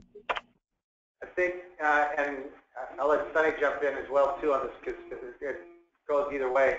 Um, I think that what people need to realize, one, is where is UL 2703 referenced and required in the in the codes? It is it is referenced in it's not even referenced in the 2000, 2015 IBC. It will be referenced in the 2018 IBC, but it's and it's not. It is in the Annex A of the NEC, but the Annex A is simply a, a uh, informational annex. It's not a requirement. I, I, I regret that it's that way, but that's what it is. And the fact is, is that that um, the only thing you could, I could you could point to is is the fact that the standard is saying this is its effective date. If a jurisdiction decides that they want something uh, to, uh, to be in compliance with that standard well before that date, Exactly. That's, that's that's they're going to be the jurisdiction doing that. But but what I would I would hope I would I would hope to have a conversation with the with the jurisdiction and suggest you need to con, uh, uh, you know please consider that uh, you don't just the day after the NEC is published for the next edition you don't just start start applying it. You actually have a period of time to allow manufacturers I, to I think the question was more geared towards what are the differences between the standard and the, outline specification and whether it addresses the issues that the jurisdiction may have. Otherwise, they're going to go back to conventional, relied upon methods. Well, one would have to go through side-by-side comparison and all that. I, I, I point to those, the statement of that they're substantially the requirements that are in the standard are substantially the same as what was in the proposal. So substantially, you know, and how far how far do you want to to to pick certain things out? Uh, that's a great question. Um, I, I again, I would suggest, uh, like, uh, how critical is it to make it an issue right now? Well, well, I might mention that there's a pretty significant difference between the outline of investigation and the ANSI credit standard. The section 9.1, which addresses what metal accessories need to be grounded, didn't appear until the ANSI accredited standard. So that would be one substantial difference. So let's, let's just hang on. Yeah, I think you need to go. We need to think this through. Think, be careful what you wish for, Jeff, because you just might get it. I'm not saying I wish for anything. I'm only saying that that's a substantial difference, John. All right, with that, let's jump. Sunny, thank you. And Sunny, he, he took up all your time. I know I didn't, and he knew he was right. He was in a bad shape, er, bad shape to be behind me. I, I knew, and I agreed. I, I brought you in. Before me, that that's what was going to happen. So. I, I brought you into the discussion, though. Thank you. All right, sure, thank you. No, I, so I think no, I'm glad John was speaking earlier, so we got a lot of the controversial issues discussed and out of the way, so we can specifically concentrate on testing. So my presentation, I think we go to the next slide, uh, just walk you through all the tests that are specifically required in the standard. So you're aware of what testing was done in the lab when the product was listed, classified, certified. We'll have that discussion later, but know, any of the, once it carries that certification mark, there's a whole bunch of tests that, that are done. And as John said, the, the, within the standard, there is the construction requirements, and then there's the testing requirements and marking and follow-up test, uh, follow testing requirement that happens before the product is shipped out of the factory. So these are the tests that are done in the lab. And how we determine what test needs to be done is based on what we call construction evaluation. So we do a construction evaluation of the product against construction requirements, depending on how the product is built, what type of material, how it's secured, what type of rating it, it's uh, designed to be used with from module perspective and, and, and uh, uh, the bonding and grounding, and that's what you base the test on. So that's the list of the tests. Next slide, please. I'll go through each one of them one by one. One of the main tests that we've been talking about is the, is the grounding, grounding path resistance test. Again, the purpose of this test is to make sure all dead metal parts are, are properly grounded. So they're, they're properly grounded and they're able to carry the, the, the ground fault current there, so there's a proper path for that. Uh, the, the, the way this test is done is that you're applying the, as the first line there, all dead metal parts that's testing after both before and after humidity freeze and and uh, temperature cycling. So we do this test on an as-is sample as it comes to us.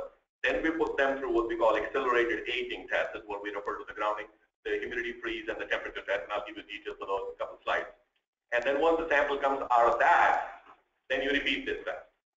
And the, the requirement is that the resistance has to be less than 0.1 and the way we're not just using a regular multimeter to measure that, you're actually running current through the device, uh, which is equivalent to twice the fuse rating of a module that is intended to be used with. This goes back to what I was saying, construction evaluation, that's where you determine what that test is. So there are modules that are rated 15 amps, there are modules that are rated 25 amps. So on a 15 amp module rated product, you'll run 30 amps through the, the whole grounding circuit, you measure the voltage drop and calculate the resistance it has to be less than 0.1. Is there any stall testing involved? Yes, that's later on. That comes up, yeah. Uh, so, so the next slide, please. Uh, the torque test. This is, uh, to, in the interest of time, just to, just to get through it quickly, we would install it for the instructions with the amount of torque that's required by the installation instructions and tighten it and, and go through that process 10 times. Tighten the, the, all the all the torque, loosen it back up, tighten it back up 10 times, and there should be no visual, you know, breakage, displacement, and things of that nature. And this is only again done on the on the, the product or the component where there's specific torque requirement. Next slide, please. This is the fire testing. So, and you see the, the the guide on the side, that specifically just refers to, there is a type testing requirement for modules, might go from type 1 to, you know, it goes on top to type 15. But, but what you're looking at is, if the module is already type tested, then you follow one route of testing. If the module is not type tested, you follow the other route. But once you have met these requirements, uh, they're tested differently for if you get uh, down in this area, you have a, a low slope system goes through one right, one one uh, test criteria, and if you have a, a, steep slope system, it goes through a different different test criteria. In a, in a steep slope system, then it divides again is a symmetrical or, or, or asymmetrical system. How is it installed on the on the roof? So the different test requirements. By meeting those requirements, you get the, the, the system or certified as class A, B, or C. Next slide, please. So these, these are the tests. The two tests that are done is, is one is called spread of, spread of flame test and the other one is called the burning brand test. So the spread of flame test on a steep slope system, like the one you would see on a residential roof. It, it's uh, spread of flame test is done, we call it the south edge, but it's basically the leading edge when you're looking at the module from the from ground.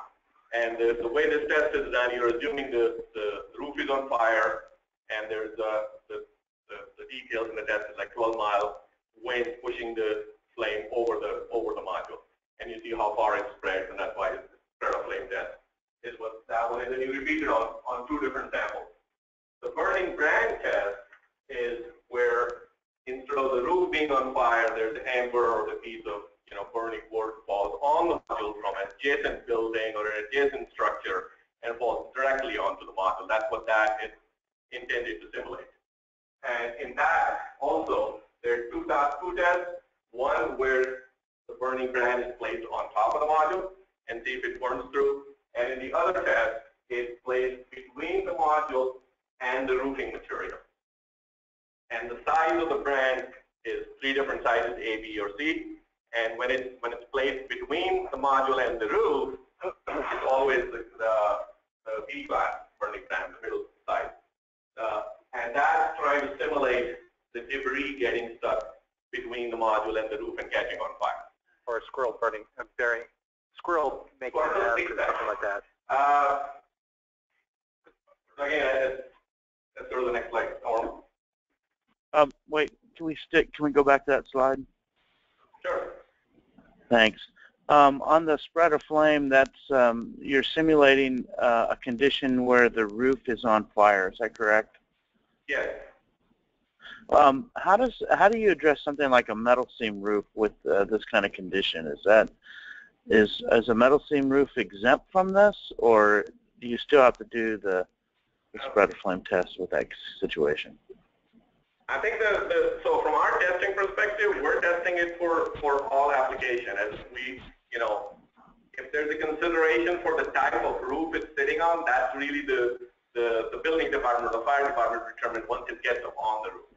We're we're testing it for it, it's it's uh, most of the modules are being tested for Class A roof because if it's tested for Class A, then you can use it on a Class B or C depending on if the if the if the board allows that in, in that region. And but if you test it for A, you're good for all Class B and C. So most everyone is getting te uh, testing their modules for, for Class A roof. Okay. That, you know, in, in testing, we don't take that into consideration now. Uh, fire Oh, classification, fire classification, how it's applied is, uh, that, that'd be yet another 15, 20, well, actually, half hour, hour discussion, so. Let's go on. If- Just one, one thing I will point out is that if you want to see all that predicated the fire testing requirements, you can go to solarabcs.org and on that website are posted all of the research that was done uh, over five years to establish what the issue was that were being addressed and how and what uh, uh, why uh, it basically gives you an insight as to why the code the standard has the requirements that it has. Okay.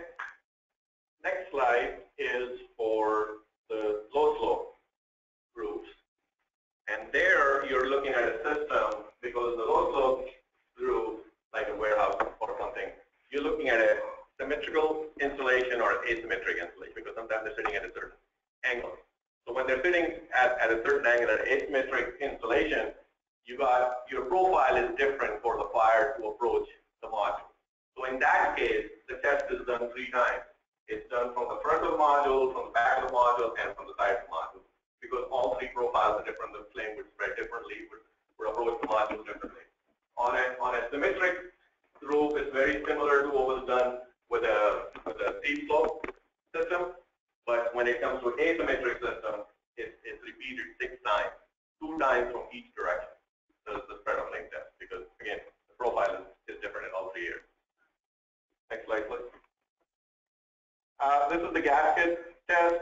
This is only done on the modules. Actually, racking and mounting systems don't have a lot of this. This is on uh, trackers have this. A lot of the tracking systems have gaskets and, and things of that nature.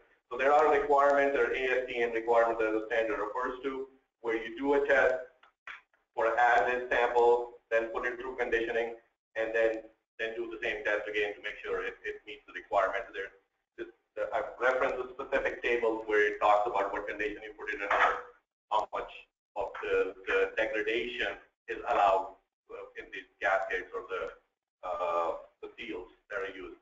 Next slide, please. This, this is very rarely done, I don't think we spend a lot of time here.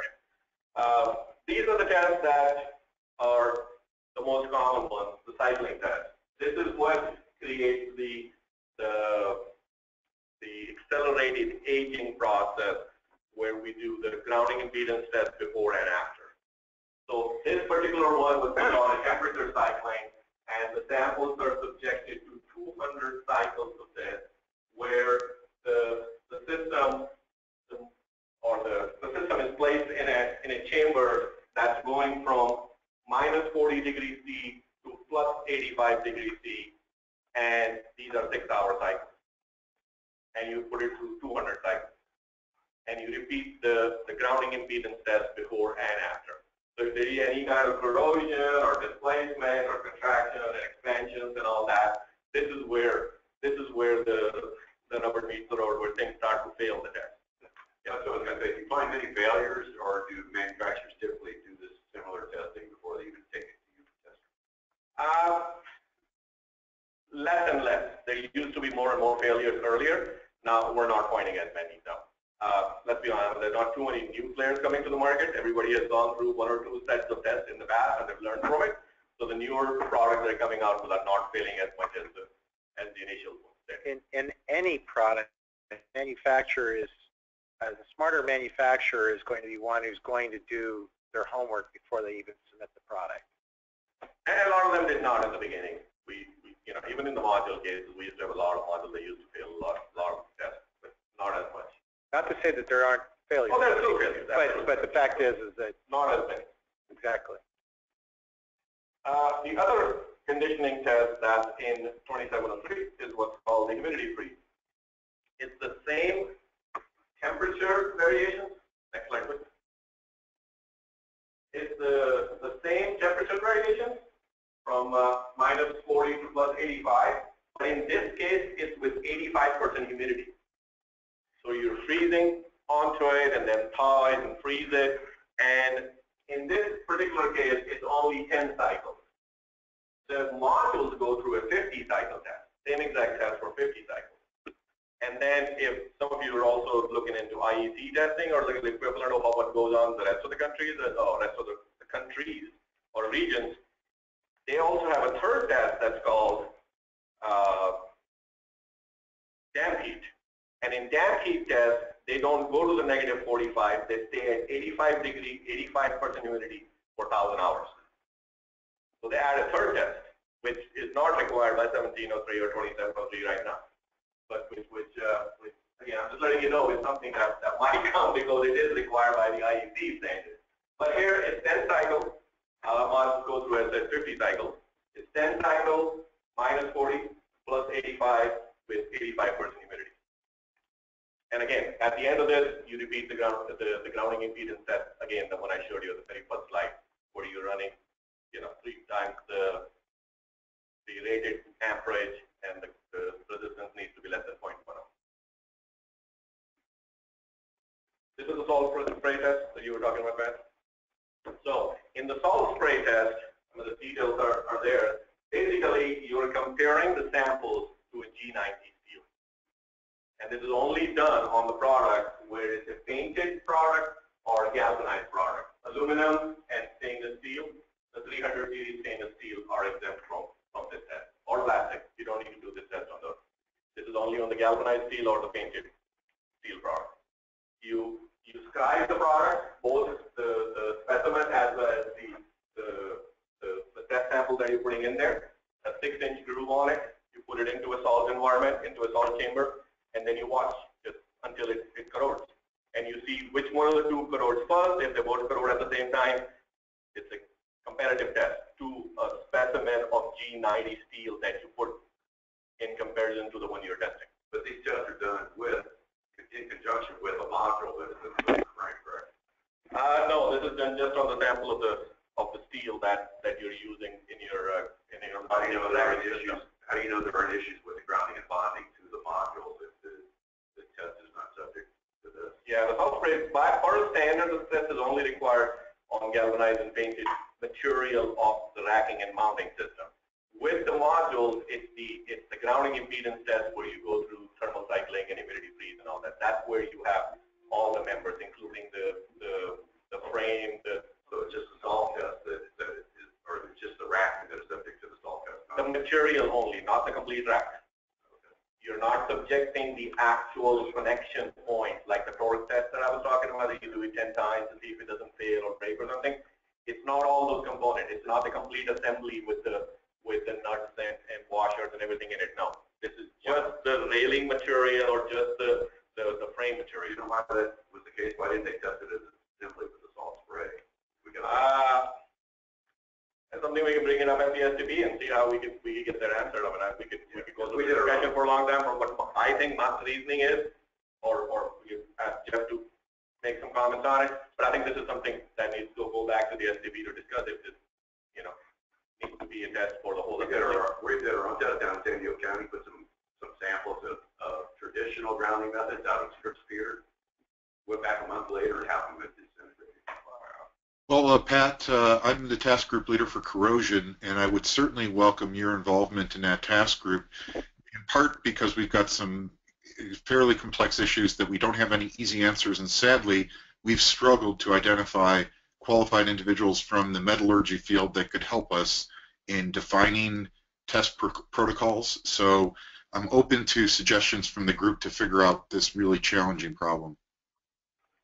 Uh, Uh, bear in mind, bear in mind that, that these task groups, uh, you know, there's various task groups. The task groups can have anybody involved, but the, ultimately is it all goes back to the overall standard technical panel of 55 people, and those 55 people are going to decide what actually needs to go in the standard or what doesn't.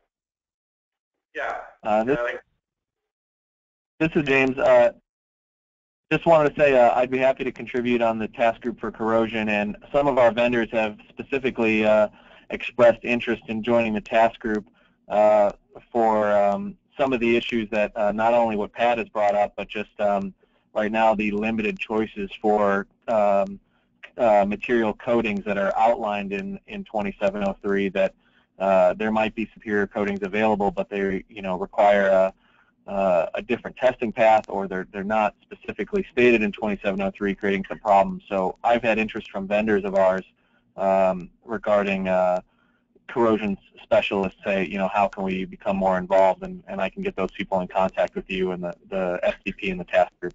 All right, that's wonderful. I appreciate that. Send me an email and we'll get working on it. Jeff, I too would, uh, would be happy to help out if you feel like you contribute. This is great.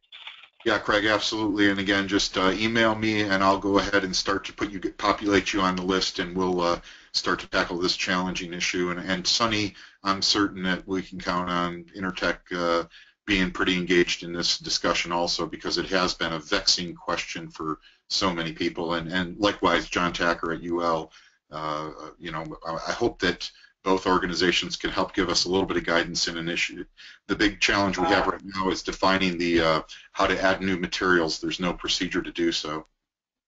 Uh, absolutely. I think we'll, we'll definitely be involved because, you know, So the one thing I would I would just question is is that Jeff, is this in your in already the scope of this task task group that was established, or uh, it would seem like it would be a good idea to also let the project manager of the standard of the overall STP, which would be Susan Malone, to know what things are being worked on because then it then we make sure that nothing gets uh, through the track cracks. I just want to make sure people when they're making proposals you think about making the proposal to the STP.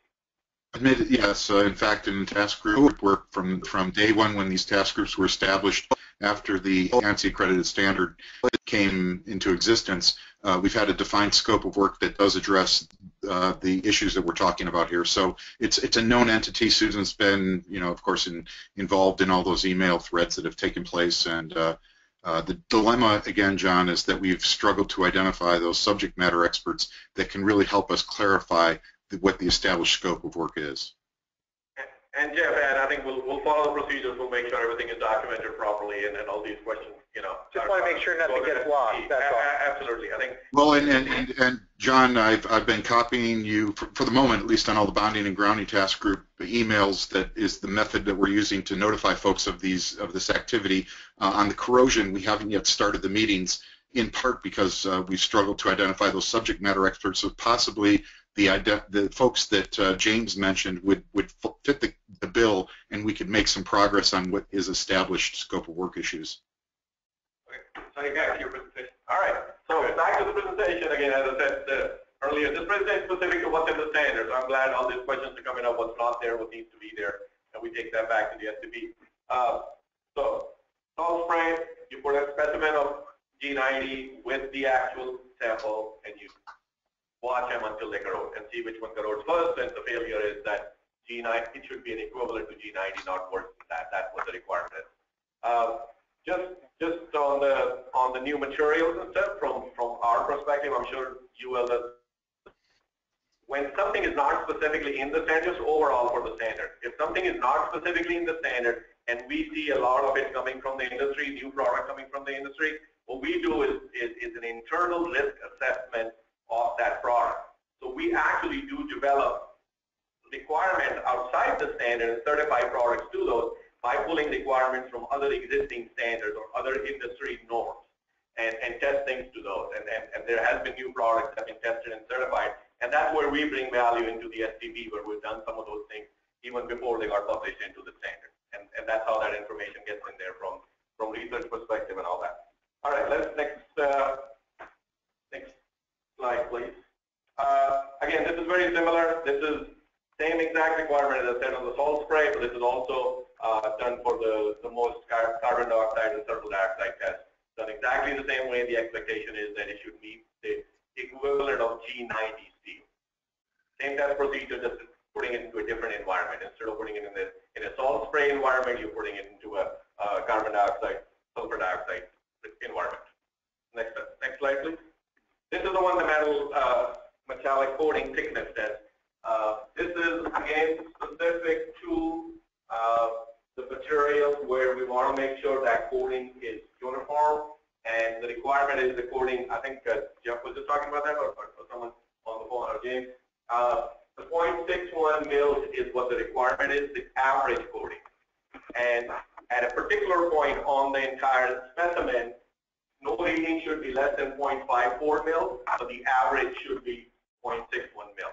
And there are specific methods that you could use to measure that thickness and document that thickness, and that's what goes in the report.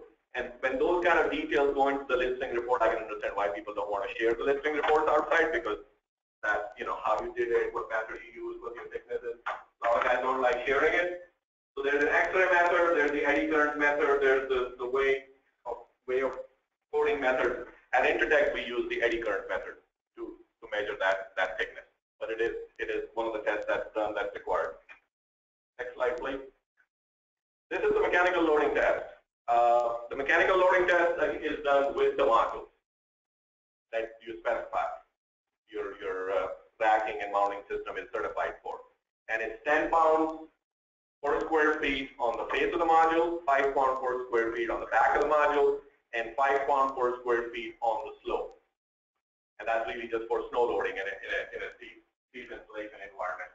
And I mean, most of the, basically the passing criteria is that it should not deform or break or, or have some permanent uh, damage to the module or the racking system. But, but the, the tests are done so many different ways. I mean, there are uh, Sometimes we do these tests with uh, with air balloons that you pressurize with the air balloons.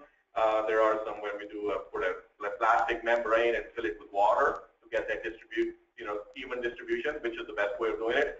We also do it with sandbags and we also do it with lead pallets and all that. In my 20 plus years, 25 plus years of doing this, I think the most uniform you get is with water. If you get a nice bladder laying on top of the module, fill it up with water, you get a very nice, you know, uh, 10 pound per square feet distribution. But this is done 10 pound on the face of the module, 5 pound on the back of the module. Okay, I think we're almost at the end. This is the bonding conductor test, and I'm sure there might be a lot of discussion on this also because we had a big discussion about this on yesterday's call, uh, yesterday's STP call. Uh, this was the test. The way it's written in the standard is is really that, that two specimens are expected to carry 135% or 200% of the rating of the intended branch circuit breaker. For how long and, and how you power it, where there was a discussion, that's the, that's the second bullet there, that uh, uh you do this with a power supply of 250 volts with a 5,000 amp available for the short circuit current and there's a lot of discussion on it. You know, the, but right now this is how the test is being done with applying five, you know, power from a 5,000 amp power supply and just running it until until the the you know the, the failure or, or until you see or met the requirement versus just having a circuit breaker and the in, in the circuit and then the test is only a few seconds or a few microseconds or something.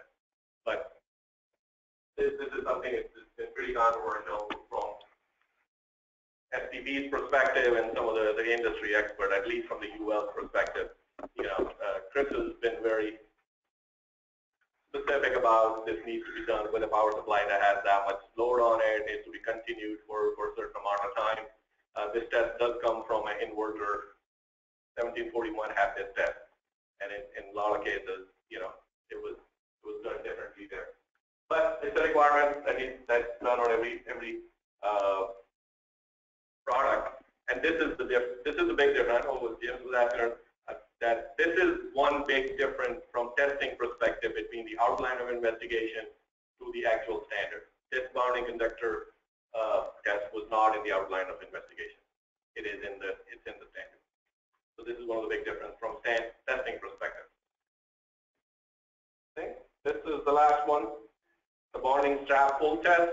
Again, this is just like any strain relief test we do on a cord, on a cord connected equipment or something. This is to make sure the bonding strap, if somebody, you know, pulls on it, carries something by a strap, or make, make sure it, it, it's able to carry, withstand that, that force with that. So uh, you basically load it for one minute and make sure there's no damage and there's still continuity after a one minute loading test on a strap, on a bonding strap.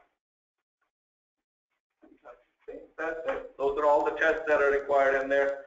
But uh, as I said earlier, I think one of the, the, the three that are most important one is the grounding impedance before and after those weather conditioning, and then the, the loading test and the, this uh, grounding strap, the, the grounding resistance, the second last. That's what I was talking about. That's still being discussed what the actual power rating you want to use for doing that test. Sunny, John, thank you very much. Really appreciate it. I know everybody's hungry, but um, issues five to eight that uh, this committee is currently looking at, uh, a lot of the questions that come up, a lot of the uncertainties, I, I, I believe um, this will be a great opportunity to try and tackle those. And there's going to be a lot more discussions, and Paul's going to talk about, you know, the time frame to do that and an extension. And uh, so let's take a break, grab our lunch, uh, five minutes, and then we'll continue. Uh, I want to get everybody out here on time. All good? All right.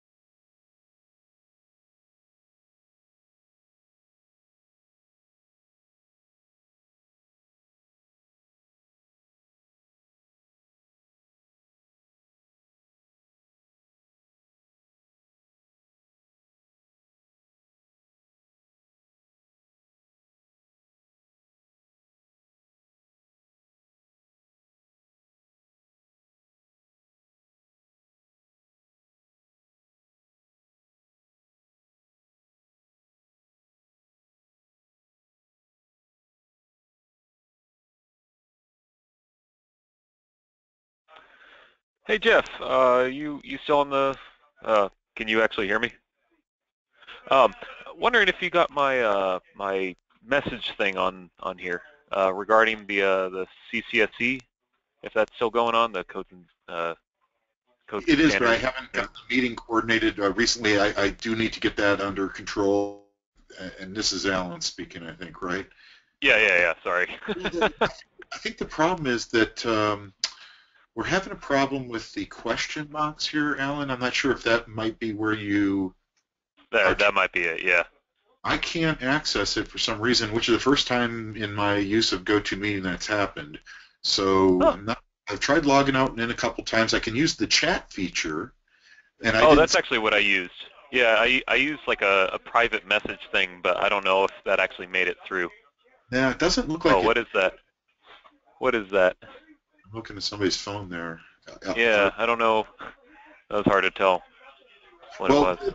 the the the the good news is that uh, we can talk to each other. So uh, what was the yeah, the, code- the codes and standards? Um, we will definitely be getting that launched. Obviously, there's been a lot of substantive activity since our last formal meeting two or three months ago now, uh, and I'll try to get something on the calendar promised by.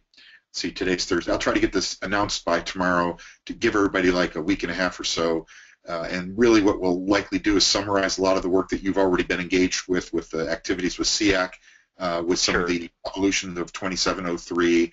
Uh, those are probably the most substantive issues I've seen in the realm of codes and standards. And AB 21, AB 2188, although that's a permitting issue, it certainly ties into the general category.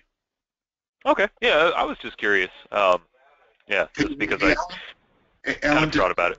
Did I get you on the invite list for this event we're holding up in Humboldt uh, in mid-October, the Solar Pioneer Party? Uh, I don't. I, I haven't actually heard of it, so I don't think so. Yeah, I'll, I'll email that to you right away. oh, okay. Sure. And also, Don, I really appreciate the uh, the gloating of where you are right now by a pool. Thanks for that. It- it- uh, was that a pool or that wasn't the ocean there? No, that was just a pool. If if he got a an oceanside view, then I'd be even more jealous. I think he's not terribly far from the ocean, so I think he does a lot. Yeah. yeah. You have to hold the computer up over the edge of the fence, right? I could go out. I, I could go to my pool too in my backyard, but I'm just going to stick with my office. It's a little easier to work here. Yeah. Hey, Don. Oh, now he's in his office. It's, I think you're on mute. yeah, I, I don't. Yeah, I don't know if he's trying to talk to us or not.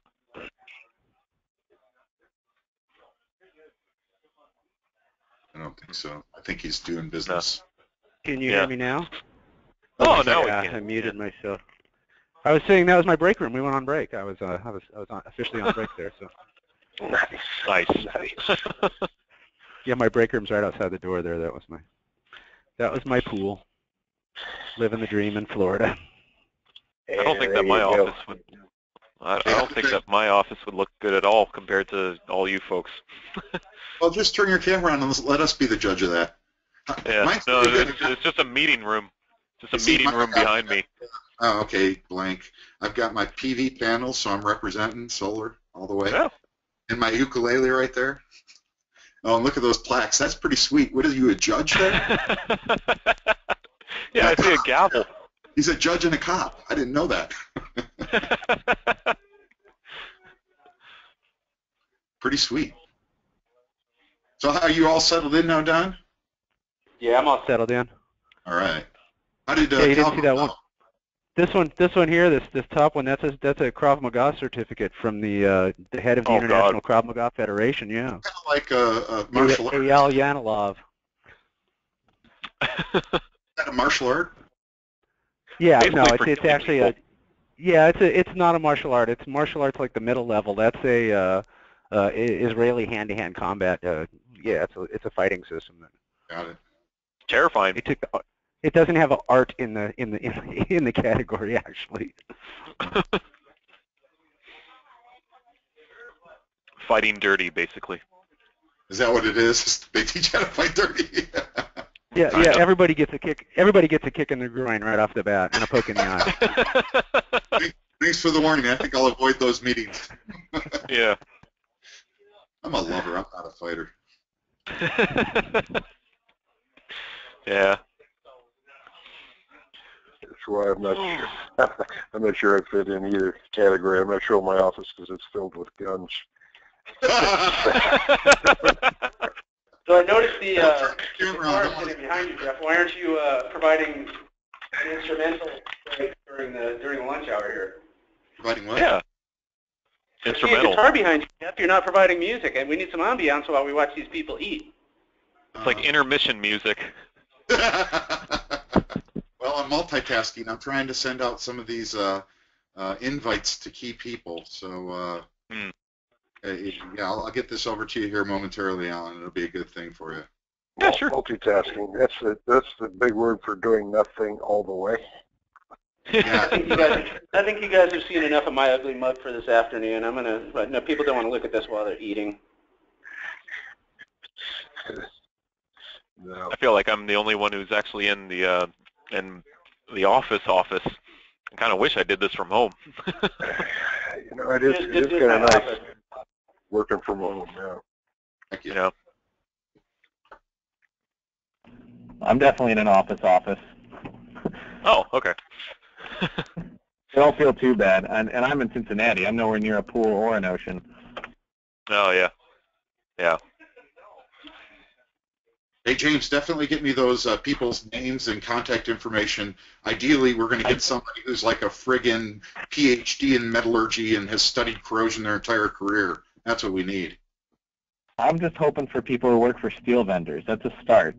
Um, yeah, I sent you one already, uh, and I'm going to hit up some other folks um, and see if we can get people who have experience on, on steel coatings. And for what it's worth, and I think some of the people here might be aware of this already, but uh, when we started to research the corrosion chart that's shown in the standard, it's used in multiple UL standards, so it's a standard chart. The problem was that there was no source information as to how those numbers ever got on that chart, what the tests that were used, and it appeared it like, might be an amalgamation of several charts. So that, that, that, that chart's an old old leftover from NASA in the 60s. Yeah, that's what we. I, I don't know. I don't know why they're not making these racking systems out of hemp these days. It's the damn steel industry that put hemp out of business in the first place. a bunch of bullshit. Hey, I'll tell you what, we might be making a shitload more stuff out of hemp before too long with the way things are going. But um, right now, I, I think that hemp might be a struggle just from a flammability perspective. And uh, we do have, um uh, I think, uh, some interested participants for the corrosion task group, but nobody yet that has that long experience in evaluating corrosion issues and how to develop a test to figure out where a new material goes on that list. I don't know that that, that chart is probably the, that chart might not be the best way to do it. I don't know. Maybe it is. But uh, right now, it might be better to revamp the system to make it more of a, uh, to make it a testing, a, a go, no go testing. Everything Yeah, that I've learned. Uh, go ahead. As I say, Jeff, we work closely with uh, a number of guys that are just, you know, that's all they do is corrosion experts. I mean, they, you know, they're spectacular to work with. They know their stuff beyond belief. That'd be great, Craig. Well, if you can get them to be willing to volunteer an hour every couple weeks to try to hammer these issues home, what we're really hoping for above all else is that there's a precedent that's been established by a recognized group, organization, company as to how to evaluate potential corrosion. And, uh, you know, again, with all of the work that we've done, we've even gone to NREL and they pulled in some of their people, but they they did they weren't really able to address some of the core issues such as you got two dissimilar materials sitting in an oceanside location how long does it really last we don't really have that kind of data Uh, yeah, NASA did so much work on that when they first put in the, you know, the Space Center, Kennedy Space Center. They did a huge amount of work on it. and there's probably And, some uh, that, yeah that we could go pull from that so but i guess a lot of those guys are probably retired and not really engaged any longer I don't know. I know. Um, I'm trying to remember who these these guys are working with. We, we're working with several of them. And they, uh, they kind of come from all over the place. To, I forget where they're all from. Well, those would be the perfect guys, in my opinion. If we can get that, in fact, that was what I thought when we first started talking. And I, I, I worked with a company called Marine Fasteners, which by nature of the name would make you think that they're pretty experienced in corrosion, and they are. But the marine corrosion issue and PV corrosion are two totally different animals. Because in marine corrosion, all they do is they throw sacrificial anodes wherever there's a point of corrosion and manage it. And PV doesn't have the easy ability to do that because of all the different points of connection that would require a sacrificial anode that would have to be routinely replaced. Yeah, true. So those are that's the core of the challenge that we're struggling with, and which is why we want to find somebody who could say, "Oh yeah, NASA, this is the testing we did. Here's the parameters and the procedure," and then we could just apply that ideally to all these new materials that companies like yours or James want to introduce to meet the standard. James, who are you with? I'm with RBI Solar. Okay.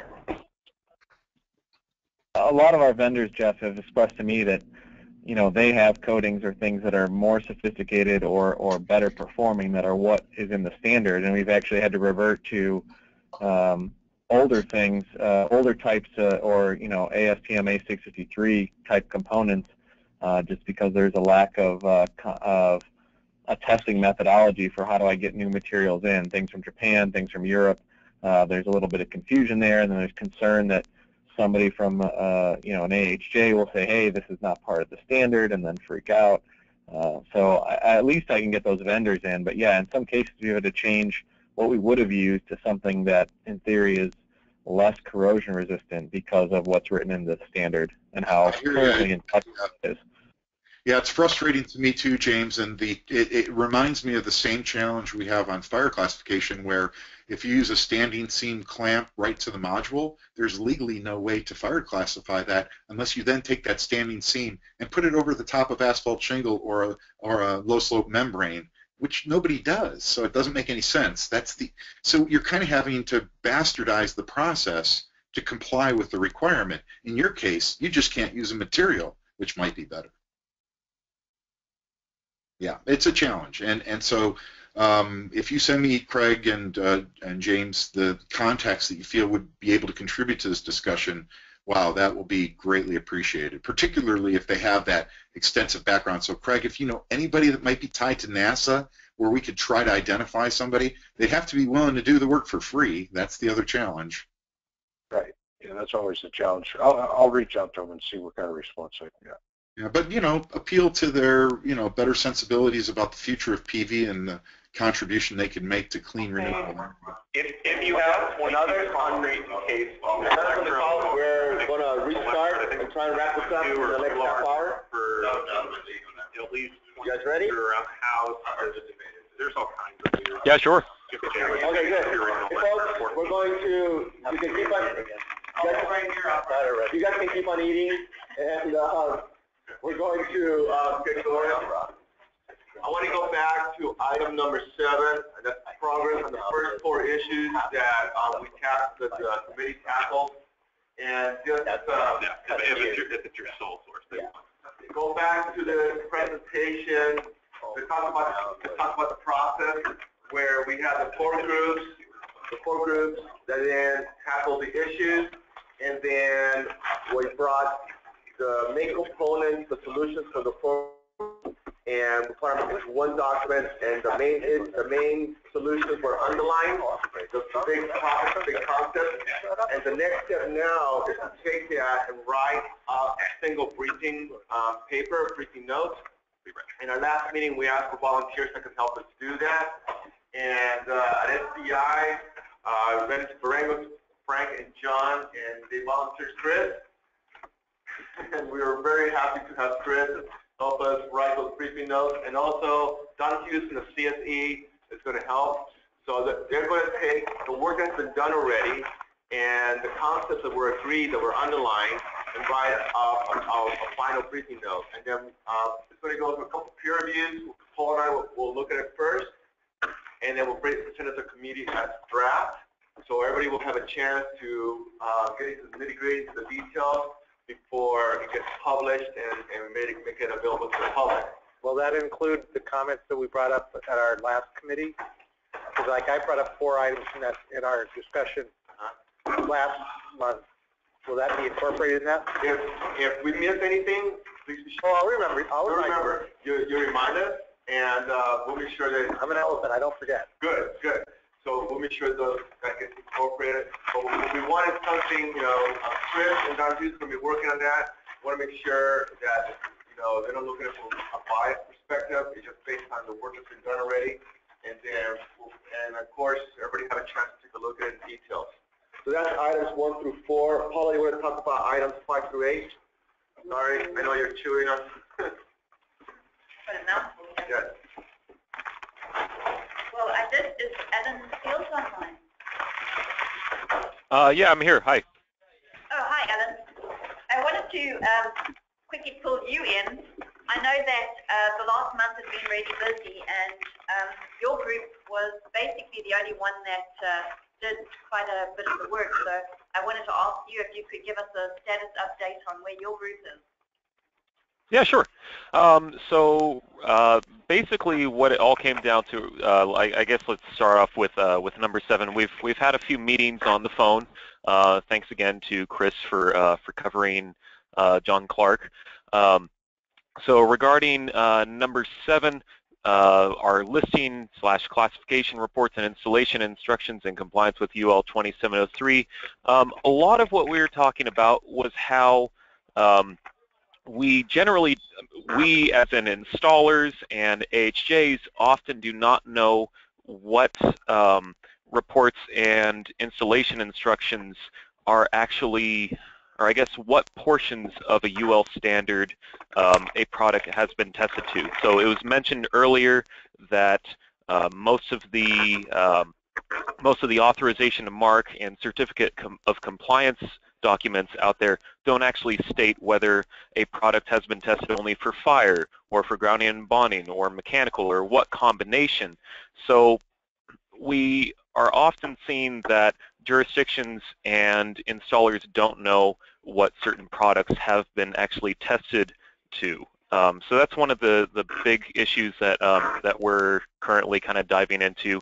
Um, uh, one, one of the kind of suggestions, I, I, don't know if we're actually going to go with this in uh, the final version of our briefing note, um, but we, we like the idea of knowing what installation documents have actually been approved by the NRTL because, I mean, as it is right now, uh, manufacturers have a lot of different versions of installation instructions, but we don't know which version is the one that has been evaluated by an NRTL.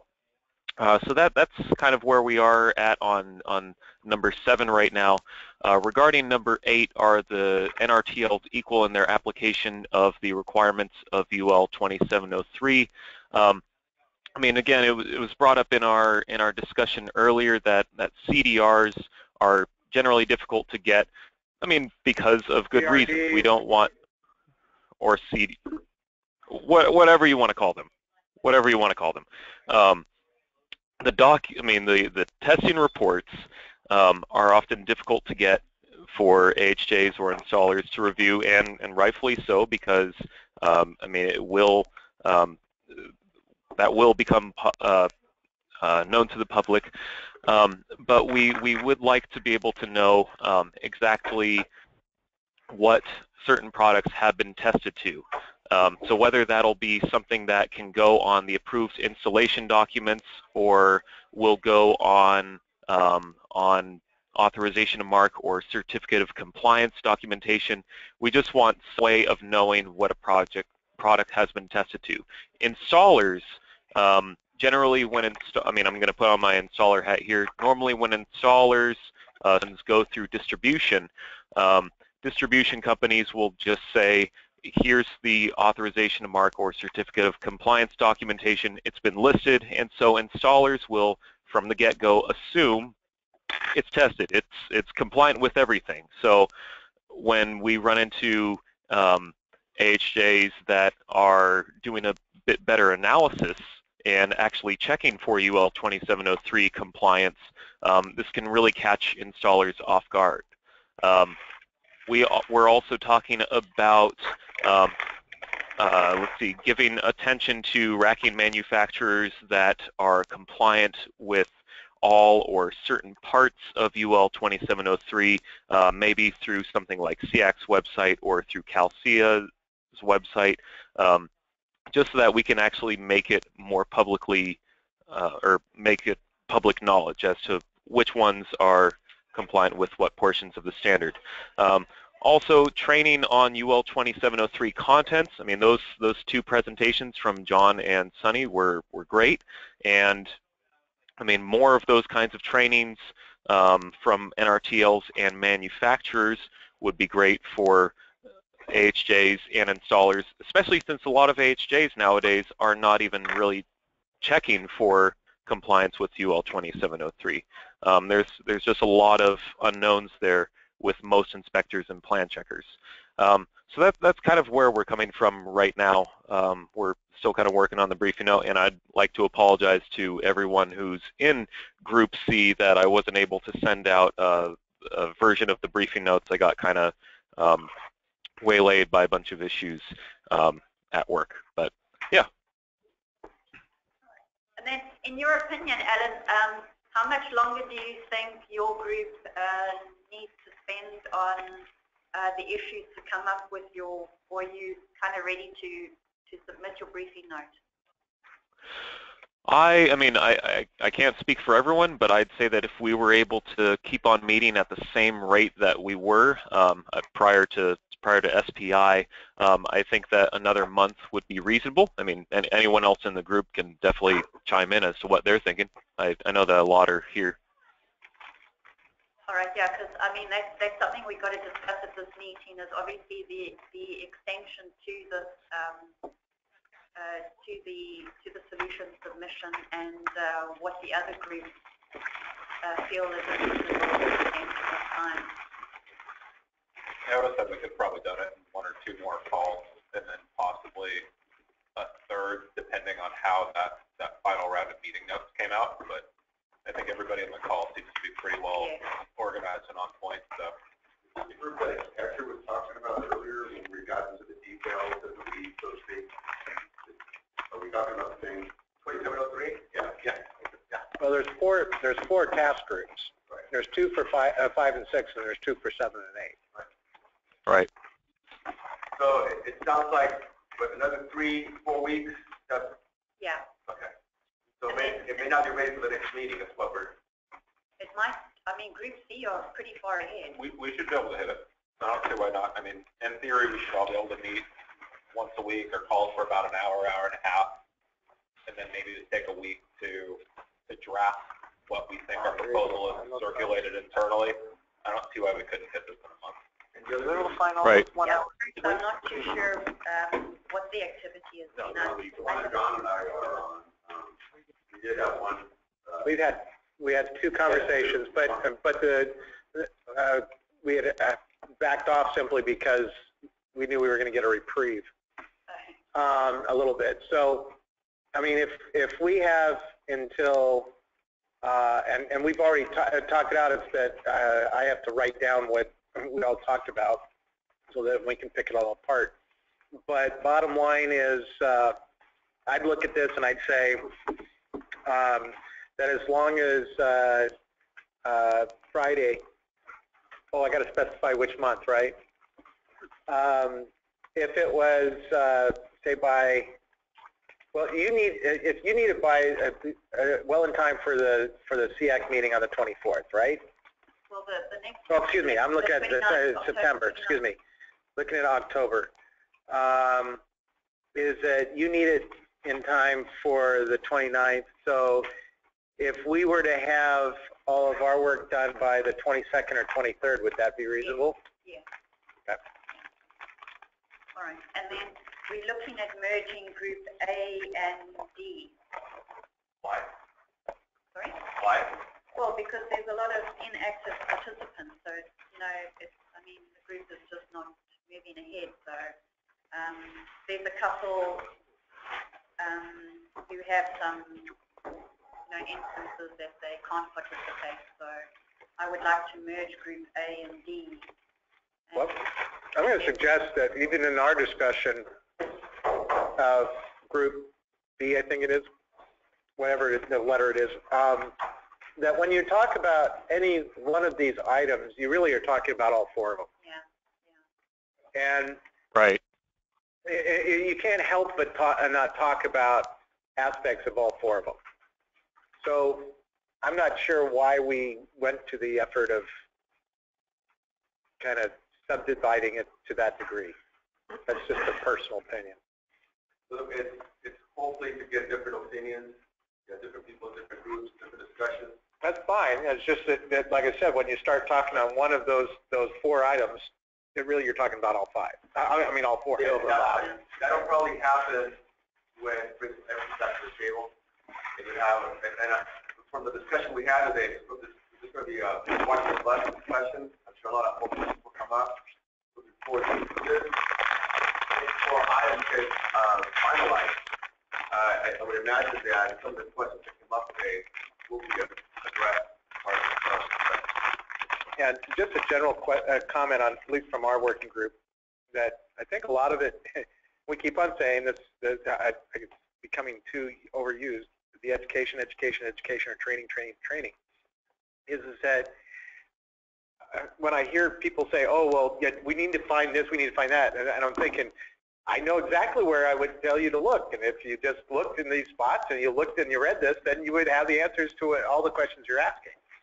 Um, so, uh, I, I, and, and I, we, we did, we did the speed dating, excuse me, the speed presenting this morning, um, that, that if you kind of take that down a little bit, just a, maybe half speed, and you actually have something like that out for people to, oh, okay, this is what it's all about, that would, that would go a long way. One thing I have to mention, is we got a diverse group here, and we all have our own little world that we deal with. Um, But what we need to try to understand is where other people are coming. Like when, like when you're presenting your 2703 issues and Sunny's uh, presenting his, they have a background behind it that we don't have. So when we're out in the field or we're in, in doing plan check on solar, we don't have that information, or we don't have that background. We can't take the time to go research this, research that. So part of our duties here, I think, is understanding that, what other people are dealing with, and trying to make life easy for them. Okay, and that, that's the purpose of the vendor, so we can get this stuff going and, and, and not have the delays that we have. That's, very good, and any of these issues, the committee's tackling, there's that section on, on the briefing notes as background, and that's where you can bring all the different perspectives in there. So hopefully will provide a, a, a thorough understanding of the issues from your side, from ETL, UL, whoever, installer side. So it, so when somebody picks that up, they get a, a complete picture as possible, so they don't have to go and more research. And Sparky made a good comment in the morning when we first got here. We're not even, we're electrical specialists, or at least I am. I think Sparky's got a good background there too, but we're talking combo inspectors. Most of them. They got a plate full of stuff. All I have to do is to tell them, oh, go look on the UL website or go look this up. It ain't gonna happen. It just ain't gonna happen. And the other thing too is, is that we keep on talking about electrical, electrical, electrical. When you're talking about these grounding, and when you're talking about these racking systems, that's one aspect. There also is the structural aspect, there's also the, um, uh, the mechanical and structural aspect, and there's also the fire aspect. Those are not electrical issues.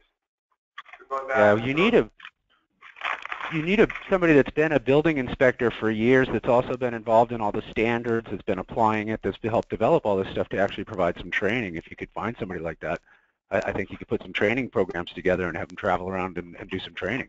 Maybe, maybe coordinate that with IAI. Somebody just Hi, like guys. you.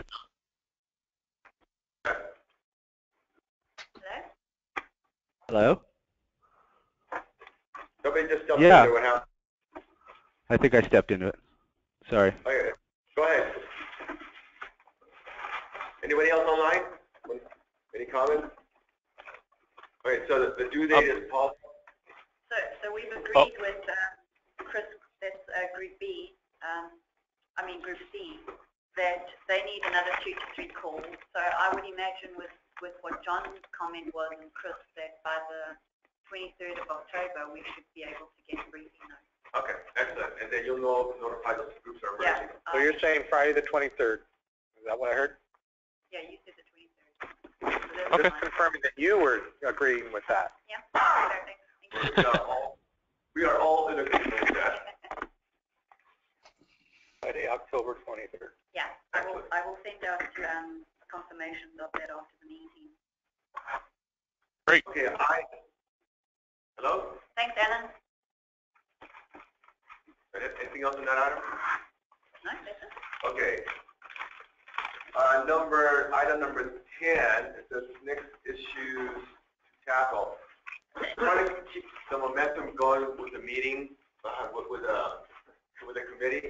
Uh, we're gonna, the committee's looking at, looked at AB 2188, with the issues, 4703, and it keeps evolving. So there may be other issues that, that have not been addressed, we're at 2703. Uh, utilities was mentioned earlier. I think we need to talk about some of the challenges with utilities.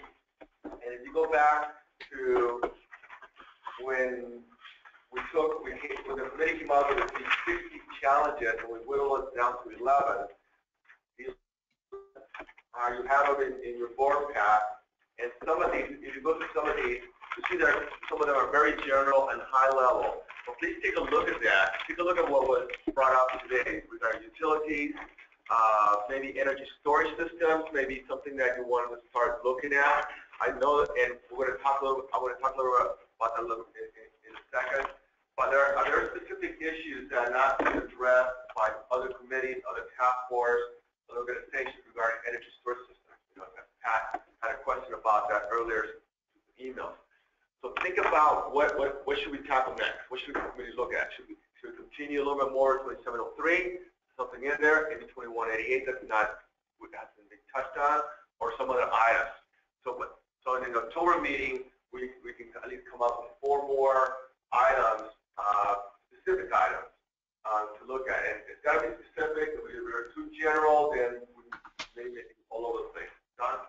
I'm going to suggest that we look at 8 and 11 of the challenges in the next and the next go around simply because we keep on bringing up about utilities, utilities, utilities. And both of those items are in regards to utilities, both of them in regards to what does a contractor need to know and, and the differences between the utilities. And since we keep on raising it, that seems to be an indication that that's the issue, the most burning issue. Thank you. That's good. That may also help bring in the farm and water power here. It might, it might sucker them in. I know, hey, we're gonna be, the committee's gonna be looking at these items, and you guys can pay attention and come and join us. I think we need to uh, focus on the meeting that you have planned for January, so we can have something that we can show the public that we've accomplished. Excellent. You know, um, so items that aren't going to drag on, you know, that's only three, four months away. Right.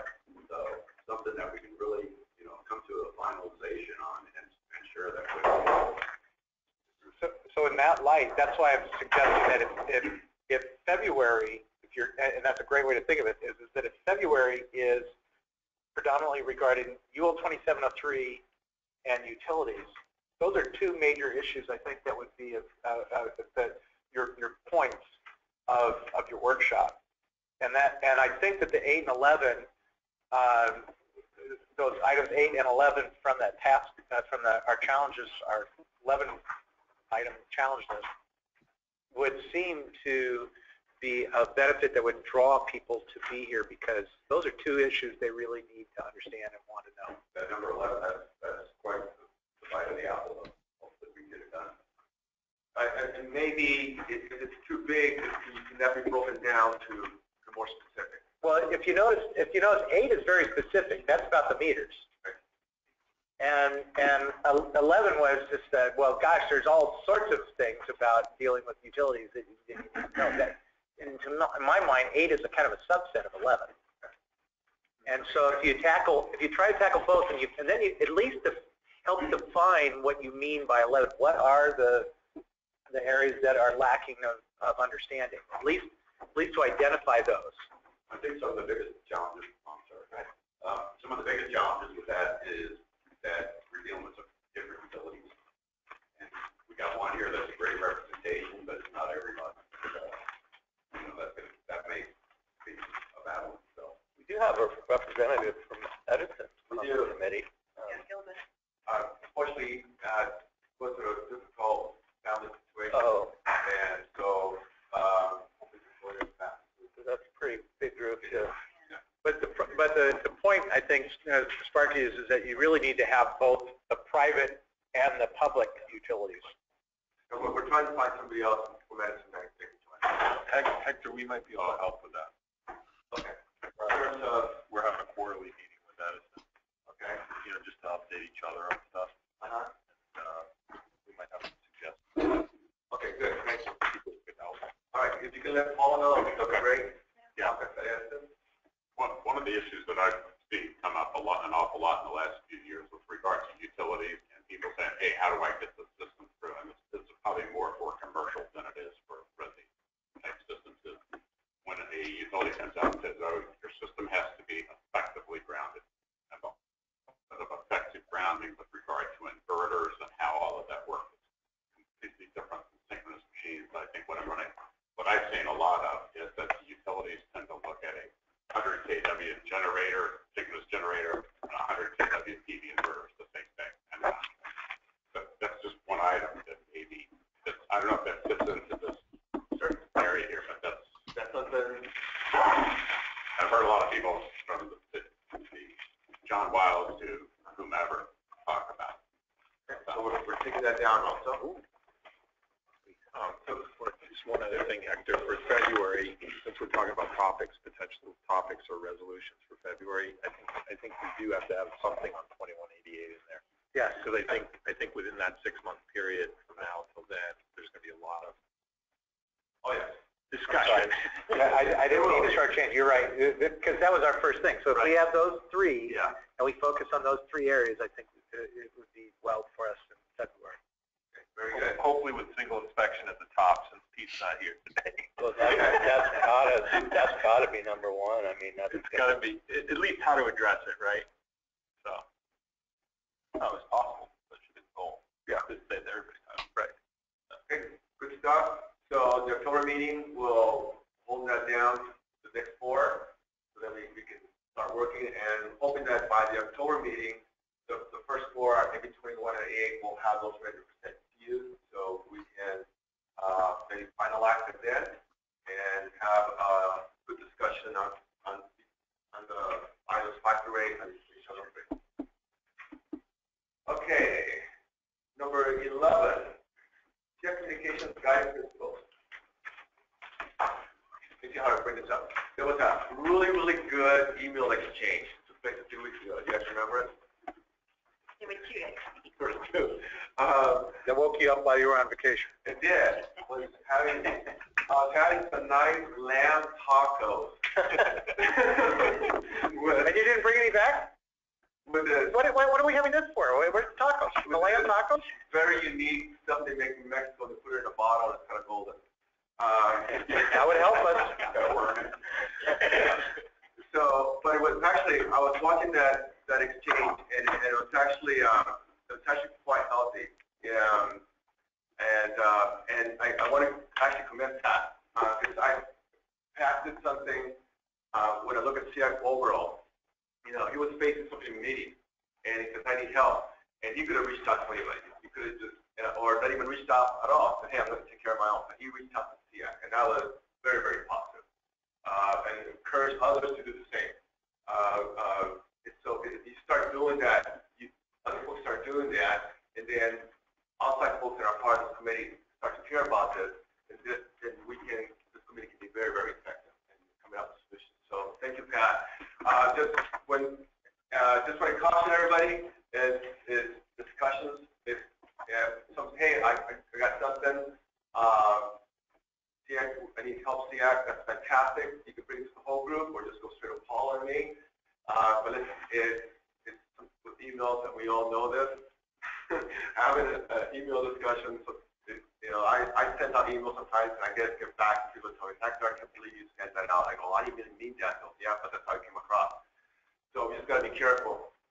But I thought that was very, very healthy. It really tested the group, and I, you know, overall, I thought it was good. And Yeah, I was just gonna say, I, I agree with you hundred percent. I think we need that communication. And I also agree with you hundred percent that I don't think email is, is the best way to do Yeah, that. that's the messaging. What about, we talked, I think we talked about it earlier, about like a blog of some kind. You know, anybody that's involved with building officials, they know that they have a blog track that they send out. You know, somebody, a building official has a question, he just sends it out, it goes to everybody, and then if they want to respond, they can. Um, How's that might, different might than be something we want to consider for this group, because I think it, I think the discussion is, is very valuable. Yeah, I, I, I'm, I'm a member of those, there's, two. there's the CALBO one, there's, there's another one, and, and I get those all the time. It's, it's interesting because dynamics are a little bit different. Um, they, they really get into discussion, and I don't know, I don't, um, At least you can, at least you can tune it out, you know, you don't have, if you don't want to be a part of the discussion, you're not getting all these out that blog. But it doesn't, I mean, when, so you have something immediate, and I still don't know, I don't know if I respond or not. But, um, like, right now, we're, we talked about the next issues that we're thinking about, okay? So there's actually no harm, you guys, everybody go go back to their, their job, hey, tomorrow, hey, I got something, uh, that should be brought to the committee. Hey, send it to everybody, hey, this is something for consideration for the next, uh, issue to tackle. But it doesn't mean that we have to tackle it now. Hey, okay, great, thank you so much, we'll put it down, and we'll go from there. It doesn't mean, hey, let's all jump in and solve it right now. So just keep that in mind, and it's, it's just a good practice. And then the operating guidelines, and uh, on the slide, specifically for our meetings, something we looked at early, early on, just, you know, how, how we, our, our, uh, how the, the group kind of agreed to communicate. And, and this applies whether face-to-face, online,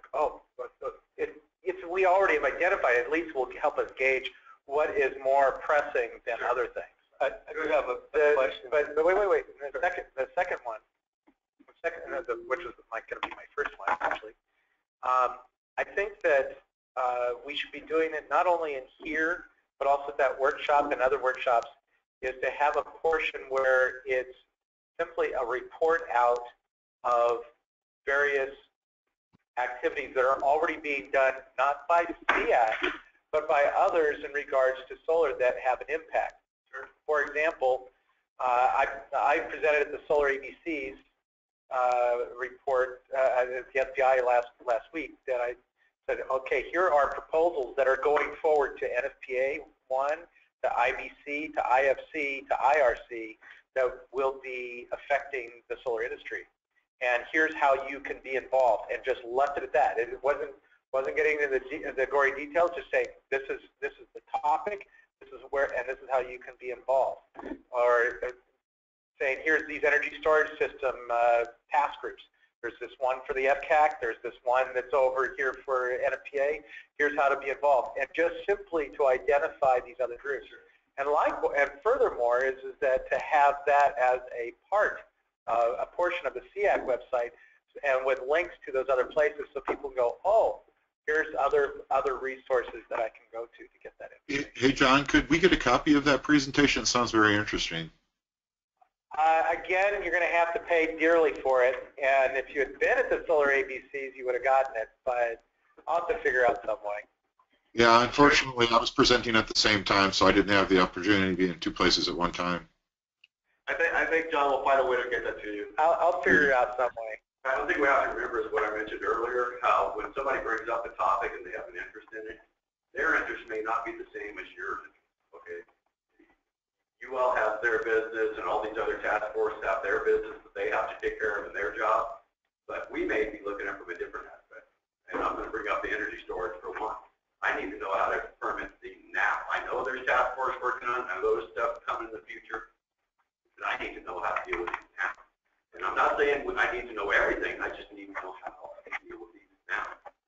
Let me ask you, uh, I believe you and the staff talked about it a little bit, was it, was it helpful? Or was there something that maybe? SPI was big help, I talked to some of the, some of the, you know, manufacturers down there. So, but again, my concern, you don't want to go down a path that's going to be counter to something that's coming down the road very See, quickly. But what we're looking at is from a permit inspection standpoint, okay? Uh, it still can be effective. It still Well, can it can impact. be, but those are the decisions that we have to make as a jurisdiction, and that's why I'm reaching out. Give me an idea, LA County last week, we got 200 permit applications for PV, so we're getting 200 or more per week, and we're not just talking residential rooftop, everything, and battery storage is coming in there, so it's just going to go up. Great. Very fast. So, I- I- let me, let me see if I'm saying this right. So, you don't want to do anything that's in conflict, or that later on, you know, if you go in this direction, and all of a sudden, the task force, task force going that direction, that's not good. You know what it's equal to? It's equal to what we did before we had UL 2703. We were making a decision on how to do racking, grounding, bonding, and we did it. But we did it as a group. We, we would meet in our meetings, say, okay, well, this is what we're going to do. It seems like a reasonable. The code doesn't really give you the details for everything that you need to know. And we know UL 2703 was in, in the coming, but it just wasn't there yet. So we had to make decisions on how to deal with grounding and bonding and racking. That's why we did our own test out on scripts here. And we made decisions and we stuck to them. And now that UL 2703 is here and we have more details on, on the requirements, you know, that, the stuff we did before just kind of goes by the wayside. You know, I mean, it was, it was, it was valuable when we needed it, but now we don't need it here anymore. So, so that should be, should that be one of the next issues tackle? Knowing there's other things going on here and making sure it's consistent with, with what the other groups are doing. I think we need to tackle it within, within the on, on, on that same note, backing up just a tad, and I forgot the Assembly Bill number. I didn't bring a copy of the notice I got. But there's been another Assembly Bill introduced regarding uh, vehicle charging stations. Right. And um, It, it almost mirrors. So can we, can we change the scope of SEAC to be Solar Energy Action Committee and electric vehicles? well, It's all about energy, go John. ahead. Yeah, I know, I've seen that. And we, we looked at it and it, from LA County, it's really, there's no impact. I- And, and so take a look at that bill. I don't, I don't. I haven't seen the bill. That's kind of what I bring. I'd I'd like to see this bill. three fifty, I think, Sparky. It's doing, it's doing the same thing as AB Well, you know, it's not just electric vehicles, because electric It's vehicles 2188 are considered for energy storage too. So it, it's gonna be interrelated to certain. I, I don't remember the name of the bill, maybe uh, at the next meeting, we'll look it up and discuss what the bill is. Doesn't your legislative committee for ICC uh, LA Basin chapter track that?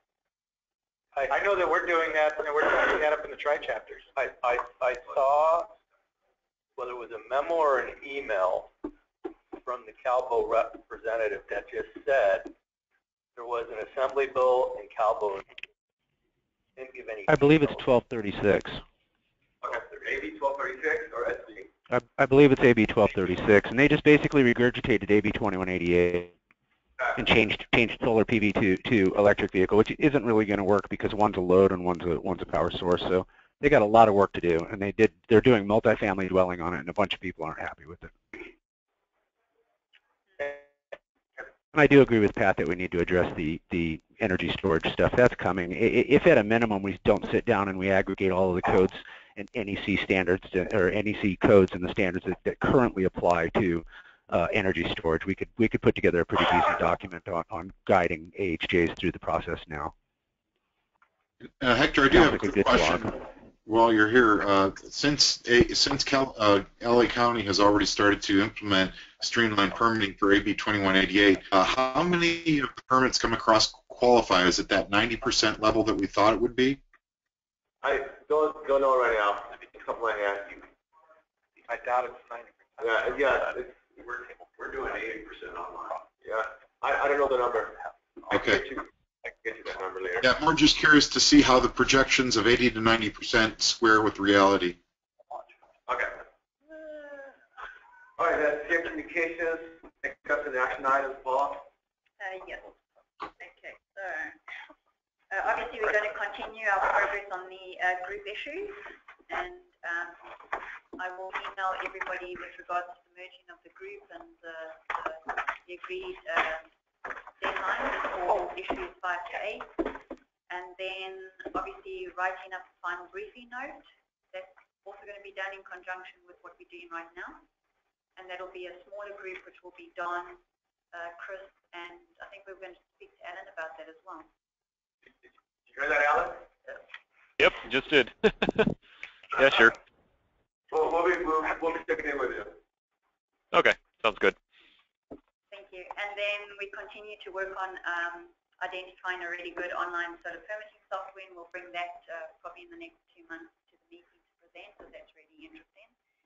And then we're also looking to invite City of San Bernardino to give a presentation on their virtual inspection pilot project, because that, I mean, County of LA are looking to adopt something similar, right?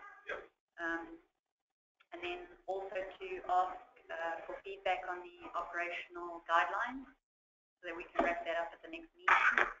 Um, continue our progress on uh, engaging with LADWP, um, get our logo incorporated that we, we discussed this morning, uh, finalize our SEAC message, um, and then, yeah, the SEAC message is really all about, it's about creating strength in numbers, finding common ground and supporting each other. So if we can all agree on the SEAC message, then we can go to market and create our awareness, branding, and, and get all the support that we really need.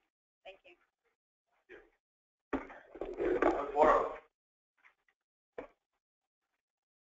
Actually got kind of an open question coming from my installer hat towards the inspectors that we have present. As an installer, when we run into a jurisdiction that's not kind of playing ball with, with what we see happening in the industry, would you guys be amenable to if it's somebody kind of neighboring where you guys are? We try to link up, you know, a building inspector to a building inspector? Because, you know, usually everybody kind of works well within their own scope, right? A lot of the ITC guys play good together. Building inspectors talk with one another. Installers talk with one another. Would you guys be open to trying to sway some of the cities that aren't kind of on board with our current message of SEAC and just as a common ground over to, you know, what theoretically should make sense? And I was talking to Sparky about this earlier. You know, I have a city currently that's requiring me to do structural and engineering wet stamps and then to have the engineers visit the site and write observation reports for a residential PV system of 13 modules on a roof. It's, it's insane. You know, I, from jurisdiction to jurisdiction, there's kind of, kind of like a hands-off thing, you know, unless you're, unless they're involved in a committee. For instance, I, I in a committee down in San Diego, and it's made up of the city, the county, and various other jurisdictions that reg- regularly participate. But there's another handful of jurisdictions in that same area that kind of stay themselves, they, and they don't get involved. So it's hard, to it's hard to reach out to those that don't participate. But I think if SEAC can come up with some policies, and, and, and that could possibly be used um, in that manner. It's like, you know, you could go to your jurisdiction and say, well, look, here, here's SEAC, this is what they decided, how they want to deal with it. I'm not telling you, you guys, you have to do it, but these guys are, you know, they're well respected, it's a a quorum. You know, that's about all I can say. It- There's kind of a hands-off thing when it comes to jurisdiction, to jurisdiction. We don't tell you what to do, you don't tell us what to do. Well, because that's kind of what hinders us usually. Well, you're- it well, becomes kind of a he said, she said. So we'll, we'll explain our case. They'll say it is what it is. You And don't, you it's don't know how always many nice to say everybody around you does it the other way. You don't know how many times I do an inspection and the comment I get is, well, Riverside County lets us do it that way. And, and I mean, just. And half the time that's not true. And half the time it's not true. Now, if Riverside County came to me and said, hey, Pat, what do you think about this and this and this? And this is a good reason for me to be involved. Um, then it's different. Then I respect their opinion. They see my viewpoint, but hearing it from a contractor saying, hey, Riverside lets me do it this, this way, that just doesn't happen. So, totally, and that's kind of my, my question is, if, if they're, to- if, if you guys can have that conversation, we can say, Chris, you know, we're seeing that elsewhere. We, we talked about this briefly. The jurisdiction, the requirements that they're passing on, Chris, if, if I'm hearing them accurately, they're, it's- it's pretty out there. And if you could, you know, instead of going over certain people's heads, you know, if you had a group's uh, identified that, you can say, hey, I'd encourage you to call this group because they meet, they talk about these things. Maybe you're not aware of some of the things being discussed. Um, before we have written material that's actually out there as far as recommendations, if, if that building department took the time to make a call, there's not a one of us who would actually discuss it with them. But I think Pat's hitting it right on the head. They're, they just can't be bothered, you know. We don't need to ask anybody's opinion. We, we know what we're doing, leave us alone. Um, Yeah, I think Solar City tried that. I, I think we need, yeah, I was thinking that too. I think we need to be careful that the purpose of this action, the Solar Energy Action Group is to develop recommendations and guidelines, not to dictate or advocate or tell uh, anybody who's not following them that they're stupid and they should be following them. I'm cutting to the chase on it, but I mean, but I think that, that, that it's, that it speaks greater when the group, when you have that group of, of consensus that are brought together and, and say, hey, we've got this, it's working for us, we think it'll work for you, and that's about as far as I'd go. Uh, and I just don't see us telling others that well, you really This have to. one particular issue, after September 30th, They're not going to have an that issue. chance anyway. yeah, it's not an issue. Right now it is, but Well, to a, to a degree, some of this, uh, at least in my experience, I've gone and done presentations, for instance, at IAEI, where indeed, a lot of times there's more than just, you know, this, this community of, of inspectors from different areas in, in there. And I've gotten into a lot of conversations and, well, yes, shouting matches, uh, with people who walk away at the end saying, I'm glad I was here because I heard everybody else's comments. Now, whether they go back and change anything, I don't know, but at least that was a forum that maybe addresses of what we're But the flip side problem is, though, what Pat pointed out, is it's the usual suspects that usually show up. And there are those couple of jurisdictions, regardless of where, whatever region you're in, you're always going to have a couple of jurisdictions that, for whatever reason, for a variety of reasons, sometimes political, sometimes pride, sometimes uh, I don't have time, uh, maybe even once in a while, once in a great while, ignorance, who knows? But there's very reason, various reasons that some people just will not be involved, and you're never, I don't think you're going to be able to persuade them uh, without. They just don't, they just don't get involved, so they're not made aware of the Yeah, but, issues but, the solutions. but a great answer for me is to be able to say, if I can reflect them back to this group. Well, either certainly to, I agree. you to can- the head, if I can just say, hey, You just don't do, want to do it like John says, this is the way. oh, no, I, the way I don't want to, I don't want to get into that at all. I want to say, hey, this is what I see as okay. I, I understand you see it a different way. If I could, you know, I'm part of a committee that does X, Y, Z. I think If, if, if you, it. uh, if you wanted, you know, here's their contact details. You know, there's, there's a lot of, you know, various industry folks from inspectors to, you know, code regulating authorities to installers to manufacturers there. You know, and just give them at least a, a path to a possible. One reason I will say some jurisdictions probably go the route that you're going is because they don't have the staff qualified to look at. Sure. So they're saying, okay, you get an engineer stamp on everything, at least we're somewhat covered. Yeah. Uh, just trying to to address John's comment. I don't think any of us ever say you're dumb or not, but it's frustrating. I'm sure, and we're just focused now on Southern California, and we're challenged from going from one age to age to another, because you do the same thing, all of a sudden you can't do it. I don't know what Solar City's going through, but if you're ever gonna make solar a scalable business where you're gonna have some national companies, they can't go from one age to eight and change their, their process. If you think about it, if, if you're producing a a manufactured product, I mean, the good thing about that is you're in one place, but that's what we're trying to do. And, you know, the crazy thing about solar is that it's like every, every deal, every project is customized because you're not sure what you're gonna be asked to do. I think I used an example before, to show what the frustration is, when you have an AHJ say, oh, you can't use metal rails without paint, they have to be black. Somebody's got to tell me why an AHJ is requesting painted rails. What has that got to do with anything? You know, that's a good point. Solar City company is an example. I think, I think they have different templates they use for all their plants in every jurisdiction in San. They're really good about it. I don't know how they did it. We have a huge AHJ database, which hopefully, at some point, Frank, we, we won't have to have anymore. Yeah. To your point, because right now the designers have to pick up that AHJ, read all the notes, which is a couple paragraphs. Don't do this, do this, add this, have a disco on the roof. I whatever read a is. set of your plans this morning for our jurisdiction. I thought, God, he's getting that right from our inspector. He's, because that's what that inspector calls all the time. Yeah, And the, the My- my challenge that we have now is now we draw the plan set, and then we fill out a fourteen page city-based document. Right. That we, what we do is we hand the plans to the permit runner, the permit runner then reads the plans to fill out the form, then we have to turn both of those in. So, so all we've done is we've just basically changed the format that the data gets delivered in to something that you can now regurgitate over and over again. So we've kind of added in some places additional work for something that kind of worked the first time. So The reason why I said what I said is because I have had too many times where I get to be in, the, I get to be in a unique situation. I get to be in the middle a lot of times. I get to be between the manufacturer and the installer and the AHJ.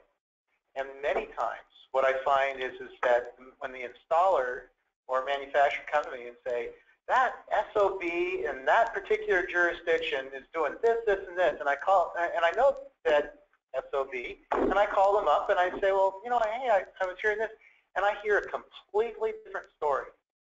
Um, completely different. I've also had many times where where people will think that they are talking to somebody, but they're talking down to somebody, or they are painting them. Uh, what I've I've done this for 30 years, 30 plus years that I've been uh, uh, those of you around the table that from the AHJ side, you know that. I've been around for 30, 30 plus years on this. And I know that you, what you got to do is you got to provide those guys an, a, a graceful way out. You can't just just push them right up into a corner. You can't paint them in a corner. You got to give them a graceful way out, a nice doorway. Now, if they don't take it, then then you start pushing maybe a little bit more. But it, but I I re, I had this great story just a year ago where some some permit runner for some major installer, I'm not going to mention who it was, but a major installer went into a jurisdiction and and put down the permits, and and the, the permits were not complete. They didn't have the installation instructions, and, and had the cut sheet, but didn't have the instructions. And the and the jurisdiction was a building official. She said, "Could you please provide the instructions?" And and the guy said, "I've provided you everything you need, and hey, I've got a mandate from from state of California uh, to to install PV. So you are step out of my way." And it was literally those words. So again, like I said, is, is that that it's. I think it's. I, I think it's a wonderful thing for SEAC. I think it's a wonderful thing to put together recommendations. And I and I also would contend that, and then I'll use what what uh, uh, what Hector was saying is that sometimes when we write, like you said, we write emails, and and I didn't think I had that tone in there, but somebody else heard it that way. And I think that we just need to to be be mindful of how we approach this. That if we if we beat them over the head with with you got to do this, you got to do this, you're not going to get as far as if you say, hey, you know, we would love to have you along for the ride. And and here's know, we we we've done all this work, and we'd love to share it with you. And and uh, and I think that uh, I've, I've the AHJs I know in the room here, you guys actually you like it when somebody has already done it because then you have a lot more comfort because then you're not the one sticking your neck out on your jurisdiction. You're along with a bunch of other jurisdictions. So as long as we keep on that approach, I think that's the best way to go. So the, the challenge is how we write these briefing notes. Ultimately, what's going to be published out there. Um, you know, factual, good background information. It, not just from a single perspective, and that's what we're all, you know, this such a diverse group. And not militant about it. Not militant about it, but at least it's compelling enough. Somebody takes a look at it and goes, wow, that that that makes sense. I think what we do, we do the briefing notes and come up with one note that we word it so each one is similar in wording and it's just a topic. Any other open forum items? Anybody else? Online, anybody? Excellent content today. Uh, fascinating stuff.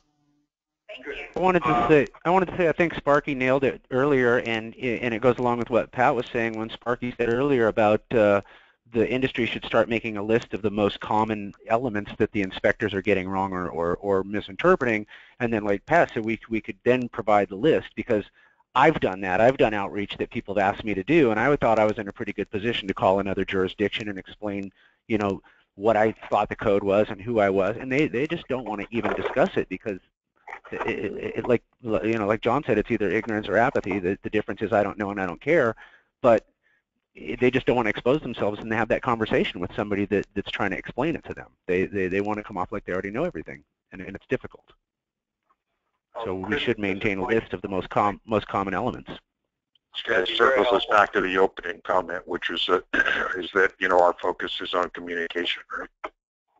Right. Exactly. That's it. Communication. Uh, Jim? I was just I- going I- to say, Chris, Chris and Mike, we're going to put together a list of the things from at least SolarCity and Verengo Okay. that we're seeing with inspectors, Good. and we'll bring it to Paula. That's really good. We'll- we'll- I could contribute as well Okay, since great. I've got a giant list. Who's it on? Oh, that was that was Alan. Sorry. Oh, no, thanks, Alan. Okay, fantastic. Thanks for the help. Okay, uh, closing, uh, so kind of close this up. What worked today? What didn't work? What, was the communication system better? Much better. Okay, good. Yeah. So it would Great. be terrible to have another meeting with things. Anybody else? Anybody else? Comments on the meeting? This meeting is recorded. Yes, you should, like, yeah, it's always recorded. How do they access it? Uh, it's not on, online yet, but we can put them online. So I'm scared yeah, we can put a link. So where we like to go back. Yeah, we can, we can put all the meetings have been recorded, all the presentations, everything that goes recorded. What? Just a final comment. Uh, okay. You've been on the block, uh, Michael really pleased to be here today. I think everybody did a great job interacting. In fact, it's going to be a lot of fun and hard work. Thank you, Roy. Thank you hand. One of Jim Bailey, uh, I don't know if you guys met him, is LA County Fire. He's incredibly knowledgeable. Uh, and if you guys run into Jim, encourage him to stay on. Send him an email, hey, just keep him, keep him here, it'll be fantastic. He's, he's very busy, as, as everybody else is, but we encourage folks, uh, Yeah, I, I had a few emails with with Jim last month, so. Anything else in closing? I was just Uh, gonna I- say, I just want to say that the uh, session, the training session on 2703, I found to be excellent, and uh, I hope we can get John and Sunny and others to contribute to the February training on that same topic. Fantastic. more than happy to. I was just gonna say on the, on the training system, I think if we could hold a lot of our questions to the end, kind of thing, and let them run their presentations, it might be a lot more useful when we eventually break it out and publish it, so that I think we kind of do kind of go half off topic, and usually it's relevant, but to let them go through it and then maybe to ask it at the end, it might make for better content if we're gonna wind up publishing that or minutes or notes from that going forward, just as, as far as getting the data back out of it. Okay, good idea. So next presentations, folks, questions towards the end, so we get through them, go from there. Oh, now you changed the rules. Well, you know, it's not too noisy. The code evolves. I thank you all for being here. Fantastic work. Thank you. Thank you. Thank you. Thank you. Thank you. Thanks, Jim. Thanks, Okay. Thank you, guys. Thank you. Bye-bye. Bye, folks. Read that email, Alan. Yep. Saw it. Thank you. Thank you very much. Thank you.